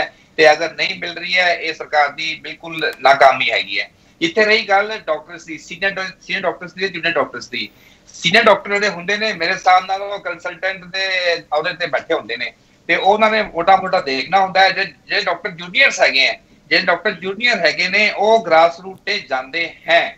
But under the supervision of senior doctors ਇਹ ਇੱਕ ਆਮ ਹਸਪੀਟਲਾਂ ਦੇ ਵਿੱਚ ਫੰਡਾ ਹੁੰਦਾ ਹੈ ਤੇ ਕੰਸਲਟੈਂਟ ਦਾ ਚੈਂਬਰ ਹੁੰਦਾ ਹੈ ਜੂਨੀਅਰ ਜਿਹੜੇ ਹੁੰਦੇ ਆ ਜੇਈ ਹੁੰਦੇ ਆ, ਜਿਹੜੇ ਉਹ ਅੱਗੇ ਜਾਂਦੇ ਨੇ। ਬਾਕੀ ਮੇਰੇ ਹਿਸਾਬ ਨਾਲ ਮੈਨੂੰ ਇਸ ਤਰ੍ਹਾਂ ਦੀ ਕੋਈ ਚੀਜ਼ ਨਜ਼ਰ ਨਹੀਂ ਆਉਂਦੀ ਕਿਸੇ ਪਾਸੇ ਕਿ ਜਿਹੜਾ ਸੀਨੀਅਰ ਡਾਕਟਰ ਹੈਗਾ, ਆਪਣੀ ਡਿਊਟੀ ਤੋਂ ਪਿੱਛੇ ਜਾਂਦਾ ਹੈ। ਅਗਰ ਡਿਊਟੀ ਤੋਂ ਪਿੱਛੇ ਜਾਂਦਾ ਹੈ, ਹੋ ਸਕਦਾ ਹੈ ਕਿ ਉਹ ਡਾਕਟਰ ਜਿਹੜਾ ਹੈਗਾ ਉਹ ਏਜ ਤੋਂ ਵੱਡਾ ਹੋਵੇ ਡਾਇਬਟਿਕ ਹੋਵੇ ਹਾਈਪਰਟੈਂਸਿਵ ਹੋਵੇ ਤੇ ਆਪਣੀ ਸਿਕਿਉਰਿਟੀ ਫਾਲਤੂ ਲੈਂਦਾ ਹੋਏਗਾ। ਲੇਕਿਨ ਮੈਂ ਕਿਸੇ ਡਾਕਟਰ ਦੇ ਉੱਤੇ ਜਿਹੜੇ ਮੇਰੇ ਭਰਾ ਨੇ ਮੈਂ ਉਹਨਾਂ ਤੇ ਸਵਾਲ ਨਹੀਂ ਪੁੱਟ ਕਰਾਂਗਾ ਕਿ ਉਹ ਡਿਊਟੀ ਤੇ ਪਿੱਛੇ ਜਾ ਰਹੇ ਨੇ। ਇਸ ਟਾਈਮ ਸਾਰੀ ਜਿਹੜੀ ਜਿਹੜੀ ਕਰੋਨਾ ਫਾਈਟ ਹੋ ਰਹੀ ਹੈ ਇਹ ਡਾਕਟਰਸ ਦੇ ਹੱਥ ਤੇ ਹੀ ਹੈਗੀ ਹੈ। ਡਾਕਟਰਸ ਹੀ ਕਰ ਰਹੇ ਹੈ। ਗਵਰਨਮੈਂਟ ਤਾਂ ਸਿਰਫ ਦੇਖ ਰਹੀ ਹੈ ਇਹਨੂੰ ਕੀ ਕਰਨਾ ਕੀ ਹੈਗਾ। ਹੁੰਦਾ ਕੁਝ ਨਹੀਂ ਪਿਆ ਉਹਨਾਂ ਕੋਲੋਂ। ਡਾਕਟਰਸ ਵੀ ਲਾਚਾਰ ਨੇ। ਟ੍ਰੀਟਮੈਂਟ ਉਹਨਾਂ ਕੋਲ ਹੈ ਨਹੀਂ ਹੈ ਇਸ ਟਾਈਮ ਡਾਕਟਰਸ ਕੋਈ ਪਿੱਛੇ ਨਹੀਂ ਹਟਦਾ। ਅਗਰ ਟ੍ਰੀਟਮੈਂਟ ਹੁੰਦੀ ਬਾਜੀ ਇਹ ਕੁਝ ਨਾ ਹੁੰਦਾ। ਅਗਰ ਵੈਕਸੀਨ ਹੁੰਦੀ ਹੈ ਨਾ ਪੰਗਾ ਹੀ ਨਾ ਪੈਂਦਾ। ਤੇ ਡਾਕਟਰਸ ਵੀ ਬਹੁਤ ਮਜਬੂਰ ਨੇ ਮੇਰੀ ਗੱਲ ਸਮਝੋ ਸਿੰਪਟੋਮੈਟਿਕ ਟ੍ਰੀਟਮੈਂਟ ਚੱਲ ਰਹੀ ਹੈ ਟ੍ਰਾਇਲ ਬੇਸਡ ਟ੍ਰੀਟਮੈਂਟ ਚੱਲ ਰਹੀ ਹੈ ਪਲਾਜ਼ਮਾ ਥੈਰੇਪੀ ਚੱਲ ਰਹੀ ਹੈ ਆਥੈਂਟਿਕ ਕੁਝ ਵੀ ਨਹੀਂ ਹੈਗਾ। WHO ਨੇ ਵੀ ਕਹਿਤਾ ਹੈ ਕਿ ਸਾਡੇ ਕੋਲ ਕੁਝ ਵੀ ਪ੍ਰੋਪਰ ਕੋਈ ਕੈਟਾਲੌਗ ਨਹੀਂ ਹੈਗਾ ਕਿ ਇਹ ਟ੍ਰੀਟਮੈਂਟ ਹੈਗੀ ਹੈ। ਤੇ ਇਸ ਕਰਕੇ ਡਾਕਟਰਸ ਵੀ ਵਿਚਾਰੇ ਸਾਡੇ ਕੋਲ ਹਥਿਆਰ ਹੀ ਨਾ ਹੋਣ ਡਾਕਟਰਾਂ ਕੋਲ ਟ੍ਰੀਟਮੈਂਟ ਕਰਨ ਦਾ ਕੋਈ ਪ੍ਰੋਪਰ ਇੱਕ ਪ੍ਰੋਟੋਕੋਲ ਹੀ ਨਹੀਂ ਹੈਗਾ ਉਹ ਕੀ ਟ੍ਰੀਟ ਕਰੇਗਾ? ਤੇ ਇਸ ਕਰਕੇ ਮੈਂ ਡਾਕਟਰਸ ਦੇ ਖਿਲਾਫ ਤਾਂ ਮੈਂ ਕੋਈ ਚੀਜ਼ ਨਹੀਂ ਕਵਾਂਗਾ ਇੱਥੇ ਡਾਕਟਰਸ ਆਪਣਾ ਕੰਮ ਕਰ ਰਹੇ ਹਨ ਠੀਕ ਹੈ। ਡਾਕਟਰ ਸੰਤੋਖ ਸਿੰਘ ਤੁਹਾਨੂੰ ਇਹ ਲੱਗਦਾ ਕਿ ਇੱਕ ਦੋ ਸ਼ਿਕਾਇਤਾਂ ਇਹੋ ਜਿਹੀਆਂ ਹੋ ਸਕਦੀਆਂ ਪੂਰੀ ਡਾਕਟਰ ਕਮਿਊਨਿਟੀ। ਤੇ ਸਵਾਲ ਨਹੀਂ ਕੀਤਾ ਜਾ ਸਕਦਾ? ਨਹੀਂ ਸਰ ਨਹੀਂ। ਸ਼ਿਕਾਇਤ ਹੋ ਸਕਦੀ ਹੈ ਮੈਂ ਨਹੀਂ ਇੱਕ ਤੇ ਬੰਦੇ ਦੀ ਕਹਿੰਦਾ ਪਰ ਜਿੰਨੇ ਡਾਕਟਰਸ ਮੈਂ ਜਾਣਦਾ ਸੀਨੀਅਰ ਡਾਕਟਰ ਜਿੰਨੇ ਸੀਨੀਅਰ ਡਾਕਟਰ ਹੁੰਦੇ ਨੇ ਭਾਜੀ ਉਹ ਬਹੁਤ ਦੇਖੋ ਉਹਨਾਂ ਦੀ 30 30 40 40 ਸਾਲ ਦੀ ਮਿਹਨਤ ਹੁੰਦੀ ਹੈ। ਉਹ ਇਸ ਮੌਕੇ ਤੇ ਅੱਗੇ ਆ ਰਹੇ ਨੇ। ਤੁਸੀਂ ਇਹਨੂੰ ਇਸ ਇੱਕ ਦੋ ਡਾਕਟਰ ਦੇ ਪਿੱਛੇ ਤੁਸੀਂ ਪੂਰੀ ਕਮਿਊਨਿਟੀ ਨੂੰ ਇਹ ਕਹਿ ਦਿਓ ਕਿ ਇਹ ਹੁੰਦਾ ਪਿਆ ਹੈ, ਇਹ ਮੈਂ ਨਹੀਂ ਇਹ ਦੇਖ ਲਾ ਮੈਂ ਖਿਲਾਫ ਹੈ ਠੀਕ ਠੀਕ ਡਾਕਟਰ ਸੰਤੋਖ ਸਿੰਘ। ਸਰ, ਇੱਕ ਇੱਕ ਸਵਾਲ ਟੈਸਟਿੰਗ ਤੇ ਉੱਠਦਾ ਪਿਆ। ਇੱਕ ਜਿਹੜਾ ਸ਼ਖਸ ਜਿੰਦਾ ਟੈਸਟ ਹੋਇਆ, ਸਰ 48 ਘੰਟੇ ਪਹਿਲਾਂ ਉਹ ਪੋਜ਼ਿਟਿਵ ਹੈ 48 ਘੰਟੇ ਬਾਅਦ ਉਹ ਨੈਗੇਟਿਵ ਆ ਰਿਹਾ ਹੈ। ਇੱਕ ਸਵਾਲ ਇਹ ਉੱਠਦਾ ਪਿਆ ਕਿ ਪ੍ਰਾਈਵੇਟ ਲੈਬ ਤੇ ਸਰਕਾਰੀ ਲੈਬ ਦੇ ਵਿੱਚ ਜਿਹੜੇ ਟੈਸਟ ਆ, ਉਹਨਾਂ ਵਿੱਚ ਅੰਤਰ ਹੈਗਾ ਸਰ, ਉਹ ਡਾਊਟ ਵੀ ਕਲੀਅਰ ਕਰ ਦਿਓ, ਡਾਕਟਰ ਸੰਤੋਖ ਸਿੰਘ। ਦੇਖੋ, ਜਿਹੜੇ ਟੈਸਟਿੰਗ ਜਿਹੜੀ ਹੈਗੀ ਹੈ ਨਾ, ਉਹ ਚ ਜਿਹੜੇ ਐਂਟੀਜਨ ਟੈਸਟਿੰਗ ਹੈਗੀ ਹੈ।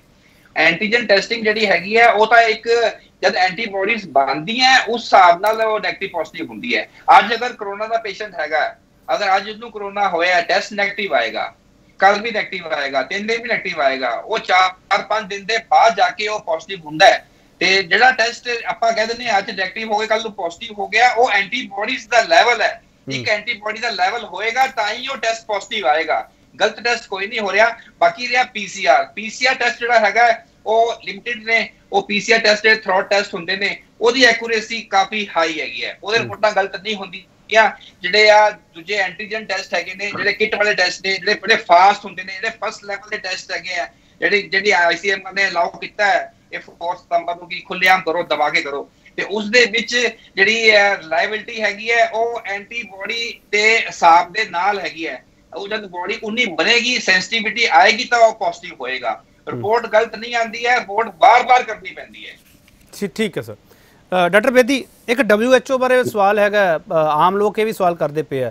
ਸਰ WHO ਨੂੰ ਪਤਾ ਹੈ ਸਾਰਾ ਕੁਝ ਵੀ ਇਹ ਕਦੋਂ ਤੱਕ ਮੁੱਕੇਗਾ ਕਦੋਂ ਤੱਕ ਇਹਦੀ ਵੈਕਸੀਨ ਆਊਗੀ ਟ੍ਰੀਟਮੈਂਟ ਆਊਗਾ ਜਾਂ WHO ਖੁਦ ਕਨਫਿਊਜ਼ ਹੈ? ਡਾਕਟਰ ਬੇਦੀ। ਯੇ ਇਸ ਇਸ ਹਾਲਾਤ ਵਿੱਚ ਸਾਰੇ ਕਨਫਿਊਜ਼ ਨੇ ਇਨਕਲੂਡਿੰਗ WHO ਦੇਖੋ WHO ਇੱਕ ਬੜੀ ਅੱਛੀ ਬਾਡੀ ਹੈਗੀ ਹੈ। ਮੈਂ ਵੀ ਉੱਥੇ ਐਜ਼ ਅ ਕੰਸਲਟੈਂਟ ਕੰਮ ਕੀਤਾ ਹੋਇਆ ਹੈ ਮਗਰ ਅਲਟੀਮੇਟਲੀ ਤੇ ਬੰਦੇ ਨੇ ਨਾ ਉਹ ਵੀ। ਤੇ ਉਹਨਾਂ ਨੇ ਵੀ ਇਧਰੋਂ ਉਧਰੋਂ ਸਾਰੇ ਸਾਇੰਸ ਤੋਂ ਲੈ ਕੇ ਰਿਸਰਚ ਦੇ ਰਾਹੀਂ ਹੀ ਤੁਹਾਨੂੰ ਇਹ ਇਤਲਾਹ ਦੇਣੀ ਹੈ ਕਿ ਇਹ ਜਿਹੜਾ ਕਰੋਨਾ ਵਾਇਰਸ ਹੈ, ਹੁਣ ਕਿਵੇਂ ਵਧੇਗਾ, ਇਹਦਾ ਇਲਾਜ ਕੀ ਹੈ? ਅੱਜ ਇਹ ਇਲਾਜ ਹੈ ਕੱਲ ਇਹ ਨਹੀਂ ਹੈ। ਹੁਣ ਅਸੀਂ ਪਲਾਜ਼ਮਾ ਵੱਲ ਤੁਰ ਪਏ ਸੀਗੇ, ਅਸੀਂ ਬੜੇ ਖੁਸ਼ ਹੋਏ ਸੀਗੇ। ਮਗਰ ਹੁਣ ਦੇਖਿਆ ਗਿਆ ਕਿ ਪਲਾਜ਼ਮਾ ਥੈਰੇਪੀ ਆਲਸੋ ਜਿਹੜੀ ਹੈ, WHO ਨੇ ਵੀ ਕਹਿ ਦਿੱਤਾ ਹੈ, ਉਹਦਾ ਕੋਈ ਬਹੁਤਾ ਮੁੱਲ ਨਹੀਂ ਹੈਗਾ। ਸੋ ਇਹ ਜਿਹੜੇ ਸਾਰੇ WHO ਵੀ ਬਾਡੀ ਹੋਏ ਜਾਂ ਕੋਈ ਵੀ ਬਾਡੀ ਹੋਏ, ਇਹ ਬਿਲਕੁਲ ਨया ਵਾਇਰਸ ਹੈ ਔਰ ਇਹ WHO ਸ਼ੁਰੂ ਤੋਂ ਕਹਿ ਰਹੀ ਹੈ ਕਿ ਇਹ ਲੰਬਾ ਚੱਲਣ ਵਾਲਾ ਵਾਇਰਸ ਹੈ, ਮਗਰ ਪੋਲਿਟੀਕਲ ਜਿਹੜੀਆਂ ਕੰਟਰੀਜ਼ ਨੇ ਉਹਨਾਂ ਨੂੰ ਇਹ ਜਿਹੜਾ WHO ਦਾ ਜਿਹੜਾ ਅਨਾਉਂਸਮੈਂਟ ਹੈਗੀ ਹੈ ਉਹਨਾਂ ਨੂੰ ਇਹ ਸੂਟ ਨਹੀਂ ਕਰਦੀ। ਇਸ ਕਰਕੇ ਉਹ ਅੰਡਰ ਪਲੇ ਕਰਨਾ ਚਾਹੁੰਦੇ ਨੇ। ਜਿਵੇਂ ਤੁਸੀਂ ਦੇਖਿਆ ਕਿ ਆਪਣਾ ਟਰੰਪ ਨੇ ਵੀ ਕਹਿ ਦਿੱਤਾ ਕਿ ਮੈਂ ਮੈਨੂੰ ਪਤਾ ਸੀ ਕਿ ਡੈਡਲੀ ਵਾਇਰਸ ਹੈ ਬਟ ਮੈਂ ਅੰਡਰ ਪਲੇ ਕਰ ਰਿਹਾ। ਸੋ ਅਗੇਨ ਮੈਂ ਇੱਥੇ ਆ ਰਿਹਾ ਕਿ ਡਾਕਟਰ ਸਭ ਤੋਂ ਪਿੱਛੇ ਤੁਸੀਂ ਮੈਨੂੰ ਕਹਿੰਦੇ ਹੋ ਪਿੱਛੇ ਨਾ ਹੋ। ਅਸੀਂ ਪਿੱਛੇ ਹੈਗੇ ਆ ਔਰ ਪਿੱਛੇ ਰਹਿ ਰਹੇ ਆ ਕਿਉਂਕਿ ਇਹ ਪੋਲਿਟੀਕਲ ਔਰ ਬਿਊਰੋਕ੍ਰੈਟਿਕ ਜਿਹੜੇ ਹੈਗੇ ਨੇ decisions are basically done by them ਇੱਕ ਇੱਕ ਮੈਂ ਜੀ ਬੋਲੋ ਬੋਲੋ ਬੋਲੋ ਡਾਕਟਰ ਬੇਦੀ ਬੋਲੋ। ਨਹੀਂ ਮੈਂ ਇਹ ਇਹ ਦੁਬਾਰਾ ਇਹ ਕਹੂੰਗਾ ਕਿ ਇਹਦੇ ਤੋਂ ਲੈਸਨ ਲੈਣਾ ਬੜਾ ਜ਼ਰੂਰੀ ਹੈ। ਸਾਡੀ ਜਿਹੜੀ ਇਨਸਾਨੀ ਫਿਤਰਤ ਜਿਹੜੀ ਹੈਗੀ ਹੈ ਇਹੋ ਜੀ ਹੈਗੀ ਹੈ ਜਦੋਂ ਇਹ ਕਰੋਨਾ ਹਟਿਆ ਤੇ ਅਸੀਂ ਫੇਰ ਉੱਥੇ ਹੀ ਆ ਜਾਵਾਂਗੇ ਹੈਲਥ ਨੂੰ ਫਿਰ ਨੈਗਲੈਕਟ ਕਰਾਂਗੇ। WHO ਨੇ ਕਿਹਾ ਹੈ ਕਿ ਪਬਲਿਕ ਹੈਲਥ ਨੂੰ ਸਟਰੈਂਥਨ ਕਰਨਾ ਬਹੁਤ ਹੀ ਜ਼ਿਆਦਾ ਜ਼ਰੂਰੀ ਹੈ ਔਰ ਪੰਜਾਬ ਦੇ ਵਿੱਚ ਜਿਹੜੇ ਵੇਸਟ ਡਿਸਪੋਜ਼ਲ ਹੈਗੀ ਹੈ ਇਨਫੈਕਟਡ ਮਟੀਰੀਅਲ ਜਿਹੜਾ ਡਿਵਾਈਸ ਡਿਸਪੋਜ਼ਲ ਹੋ ਰਿਹਾ ਹੈ ਉਹਦੀ ਜਿਹੜੀ ਕਿਸ ਤਰ੍ਹਾਂ ਦੀ ਉਹਦੀ ਹੈਂਡਲਿੰਗ ਹੈਗੀ ਹੈ ਉਹਦਾ ਵੀ ਇੱਕ ਇੱਕ ਕਾਰਨ ਹੈਗਾ ਜਿਹਦੇ ਕਰਕੇ ਬਹੁਤ ਬਹੁਤ ਇੰਪੋਰਟੈਂਟ ਬਹੁਤ ਇੰਪੋਰਟੈਂਟ ਪੁਆਇੰਟ ਹੈ। ਇੱਕ ਆਖਰੀ ਸਵਾਲ ਡਾਕਟਰ ਬੇਦੀ WHO ਨੇ ਕਿਤੇ ਕਿਹਾ ਸੀ ਲੋਕਡਾਊਨ ਜਾਂ ਕਰਫਿਊ ਲਾਉਣਾ ਚਾਹੀਦਾ ਦੇਖੋ ਇਹ ਇਹ ਇਹ ਪਤਾ ਹੈਗਾ ਕਿ ਜਿਹੜਾ ਇੰਡੀਆ ਵਿੱਚ ਸਭ ਤੋਂ ਜ਼ਿਆਦਾ ਸਟ੍ਰਿੰਜੈਂਟ ਲਾਕਡਾਊਨ ਹੋਇਆ ਵਰਲਡ ਦੇ ਵਿੱਚ। ਹੁਣ ਇਹ ਡਾਕਟਰ ਸ਼ੁਰੂ ਤੋਂ ਕਹਿੰਦੇ ਰਹੇ ਨੇ ਕਿ ਉਸ ਵੇਲੇ ਇੰਨਾ ਸਟ੍ਰਿੰਜੈਂਟ ਨਾ ਲਗਾਇਆ ਹੁੰਦਾ ਔਰ ਸਟ੍ਰੈਟਜੀ WHO ਨੇ WHO ਨੇ ਗਾਈਡਲਾਈਨਸ ਦਿੱਤੀਆਂ ਸੀ ਲਾਕਡਾਊਨ ਲਾਉਣਾ ਚਾਹੀਦਾ ਕਰਫਿਊ ਲਾਉਣਾ ਚਾਹੀਦਾ। ਹੈ ਯੂਸੀ ਉਹਨਾਂ ਨੇ ਲਾਕਡਾਊਨ ਦੀ ਜਿਹੜੀ ਹੈ ਬ੍ਰੌਡ ਗਾਈਡਲਾਈਨ ਦਿੱਤੀ ਸੀਗੀਆਂ ਮਗਰ ਅਸੀਂ ਆਪਣੇ ਜਿਹੜੇ ਲੋਕਲ ਜਿਹੜੇ ਤੁਹਾਡੀ এনवायरमेंट ਹੈ ਉਹਦੇ ਨਾਲ ਅਸੀਂ ਉਹਨਾਂ ਨੂੰ ਐਡਜਸਟ ਕਰਨਾ ਜਿਹੜਾ ਹੈਗਾ ਉਹ ਵੀ ਗਾਈਡਲਾਈਨ ਦੇ ਵਿੱਚ ਮੌਜੂਦ ਸੀਗਾ। ਤੇ ਡਾਕਟਰ ਸੰਤੋਖ ਸਿੰਘ ਉਹ ਨਹੀਂ ਕੀਤਾ। ਠੀਕ ਡਾਕਟਰ ਸੰਤੋਖ ਸਿੰਘ ਕਰਫਿਊ ਸਮੱਸਿਆ ਦਾ ਹੱਲ ਨਹੀਂ ਹੈ। ਨੋ ਚਲ। ਬਿਲਕੁਲ ਨਹੀਂ ਹੈ। ਚਲੋ। ਬਿਲਕੁਲ ਨਹੀਂ ਹੈਗਾ। ਕਰਫਿਊ ਨਾਲ ਕੁਝ ਨਹੀਂ ਹੋਣਾ। ਕਰਫਿਊ ਨਾਲ ਤੁਸੀਂ ਇਸ ਚੀਜ਼ ਨੂੰ ਦਿਖਾਉਣ ਵਾਸਤੇ ਕਰ ਰਹੇ ਹੋ ਕਿ ਅਸੀਂ ਕਰਫਿਊ ਲਾਤਾ ਤੇ ਕੱਲ ਬਿਠਾਤਾ ਸੰਡੇ ਲਾ ਕੇ ਕੀ ਹੋ ਜਾਏਗਾ? ਮੰਡੇ ਨੂੰ ਕੀ ਉੱਠੀ ਆ ਜਾਓਗੇ ਸਾਰਾ ਸਾਰਾ। ਤੇ ਇਹ ਕਾਈ ਵਾਰਿਸ਼ ਹੈਗਾ ਇਹਦਾ ਕੁਝ ਨਹੀਂ ਹੋ ਸਕਦਾ। ਚਲੋ ਬਹੁਤ ਧੰਨਵਾਦ ਡਾਕਟਰ ਸੰਤੋਖ ਸਿੰਘ ਤੁਹਾਡਾ। ਡਾਕਟਰ ਬੇਦੀ ਸਰ ਤੁਹਾਡਾ ਵੀ ਬਹੁਤ ਧੰਨਵਾਦ। ਕਰੋਨਾ ਕਰਕੇ ਪੰਜਾਬ ਦੇ ਵਿੱਚ ਮੌਤਾਂ ਦਾ ਆંકੜਾ ਉਹ ਲਗਾਤਾਰ ਵਧਦਾ ਜਾ ਰਿਹਾ। ਸਾਨੂੰ ਇਸ ਦੇ ਬਾਰੇ ਚਿੰਤਕ ਤੇ ਚਿੰਤਨ ਸਭ ਕੁਝ ਹੋਣਾ ਪਵੇਗਾ। ਚਿੰਤਨ ਵੀ ਕਰਨਾ ਪਵੇਗਾ, ਚਿੰਤਕ ਵੀ ਹੋਣਾ ਪਵੇਗਾ। ਪਰ ਕਰਫਿਊ ਸਮੱਸਿਆ ਦਾ ਹੱਲ ਨਹੀਂ। ਸਰਕਾਰ ਨੂੰ ਵੀ ਸ਼ਾਇਦ ਇਸ ਦਾ ਇਲਮ ਹੈ, ਪਰ ਸਰਕਾਰ ਨੂੰ ਜੇ ਤੁਹਾਡੇ ਸਾਥ ਦੀ ਲੋੜ ਹੋਵੇ ਤਾਂ ਤੁਸੀਂ ਸਾਥ ਕਿਵੇਂ ਦਿਓਗੇ? ਸਰਕਾਰ ਨੂੰ ਛੱਡੋ। ਤੁਸੀਂ ਆਪਣੀ ਜ਼ਿੰਦਗੀ ਨੂੰ ਸਾਥ ਕਿਵੇਂ ਦਿਓਗੇ? ਮੈਂ ਤਾਂ ਤੁਹਾਨੂੰ ਇਹ ਸਵਾਲ ਕਰਦਾ। ਜ਼ਿੰਦਗੀ ਨੂੰ ਸਾਥ ਦੇਣਾ ਤੁਸੀਂ ਪ੍ਰੀਕਾਸ਼ਨ ਜਿਹੜੇ ਡਾਕਟਰ ਦੱਸਦੇ ਪਏ ਆ, ਛੱਡੋ ਸਰਕਾਰ ਨੂੰ ਤੁਸੀਂ। ਕੈਪਟਨ ਅਮਰਿੰਦਰ ਸਿੰਘ ਤੁਹਾਨੂੰ ਕੀ ਕਹਿੰਦੇ ਆ, ਨਰਿੰਦਰ ਮੋਦੀ ਕੀ ਕਹਿੰਦੇ ਆ, ਮਿਸਟਰ ਟਰੰਪ ਕੀ ਕਹਿੰਦੇ ਆ, ਛੱਡੋ ਉਹਨਾਂ ਨੂੰ। WHO ਤੋਂ ਲੈ ਕੇ ਜਿਹੜੇ ਥੱਲੇ ਡਾਕਟਰ ਹੈਗੇ, ਜਿਨ੍ਹਾਂ ਨਾਲ ਤੁਹਾਡਾ ਸਿੱਧਾ ਰਾਬਤਾ ਹੁੰਦਾ, ਜੇ ਉਹ ਤੁਹਾਨੂੰ ਕਹਿੰਦੇ ਆ ਕਿ ਮਾਸਕ ਪਾਓ ਜੋ ਤੁਸੀਂ ਕਿਸੇ ਭੀੜ ਵਾਲੀ ਥਾਂ ਤੇ ਜਾਂਦੇ ਹੋ, ਹੱਥ ਆਪਦੇ ਧੋ, ਨਹੀਂ ਸੈਨੀਟਾਈਜ਼ਰ ਵਰਤਣਾ, ਨਾ ਵਰਤੋ, ਸਾਬਣ ਵਰਤ ਲਓ, ਪਰ ਜਿਸ ਤਰੀਕੇ ਨਾਲ ਤੁਹਾਨੂੰ ਦੱਸਦੇ ਪਏ ਆ, ਉਸ, ਉਹ ਤਰੀਕਾ ਤਾਂ ਵਰਤੋ। ਉਹ ਤਰੀਕਾ ਜੇ ਵਰਤੋਗੇ ਤਾਂ ਕਰਫਿਊ ਕਰਫਿਊ ਦੀ ਕੋਈ ਲੋੜ ਨਹੀਂ ਪੈਣੇਗੀ। ਤੁਹਾਨੂੰ ਆਪ ਸੋਚਣਾ ਪਵੇਗਾ ਕਿ ਤੁਸੀਂ ਆਪਦੀ ਜ਼ਿੰਦਗੀ ਕਿਵੇਂ ਖੁਸ਼ਹਾਲ ਬਣਾਉਣੀ ਹੈ, ਆਪਦੀ ਜ਼ਿੰਦਗੀ ਕਿਵੇਂ ਜਿਉਣੀ ਹੈ। ਕੁੱਲ ਮਿਲਾ ਕੇ ਮੈਂ ਇੱਕੋ ਗੱਲ ਕਹੂੰਗਾ, ਪਹਿਲਾਂ ਵੀ ਇਸ ਤੋਂ ਪਹਿਲਾਂ ਮੈਂ ਕਈ ਡਿਬੇਟਸ ਵਿੱਚ ਕਹਿ ਚੁੱਕਿਆ ਬੱਸਾਂ ਵਿੱਚ ਲਿਖਿਆ ਹੁੰਦਾ ਜਿਹੜੀਆਂ ਬੱਸਾਂ ਤੁਸੀਂ ਸਫ਼ਰ ਕਰਦੇ ਹੋ, ਸਵਾਰੀ ਆਪਦੇ ਸਮਾਨ ਦੀ ਆਪ ਜ਼ਿੰਮੇਵਾਰ ਹੈ। ਤੁਸੀਂ ਖੁਦ ਜ਼ਿੰਮੇਵਾਰ ਹੋ, ਕੋਈ ਹੋਰ ਨਹੀਂ ਹੋਵੇਗਾ। ਬਹੁਤ ਧੰਨਵਾਦ।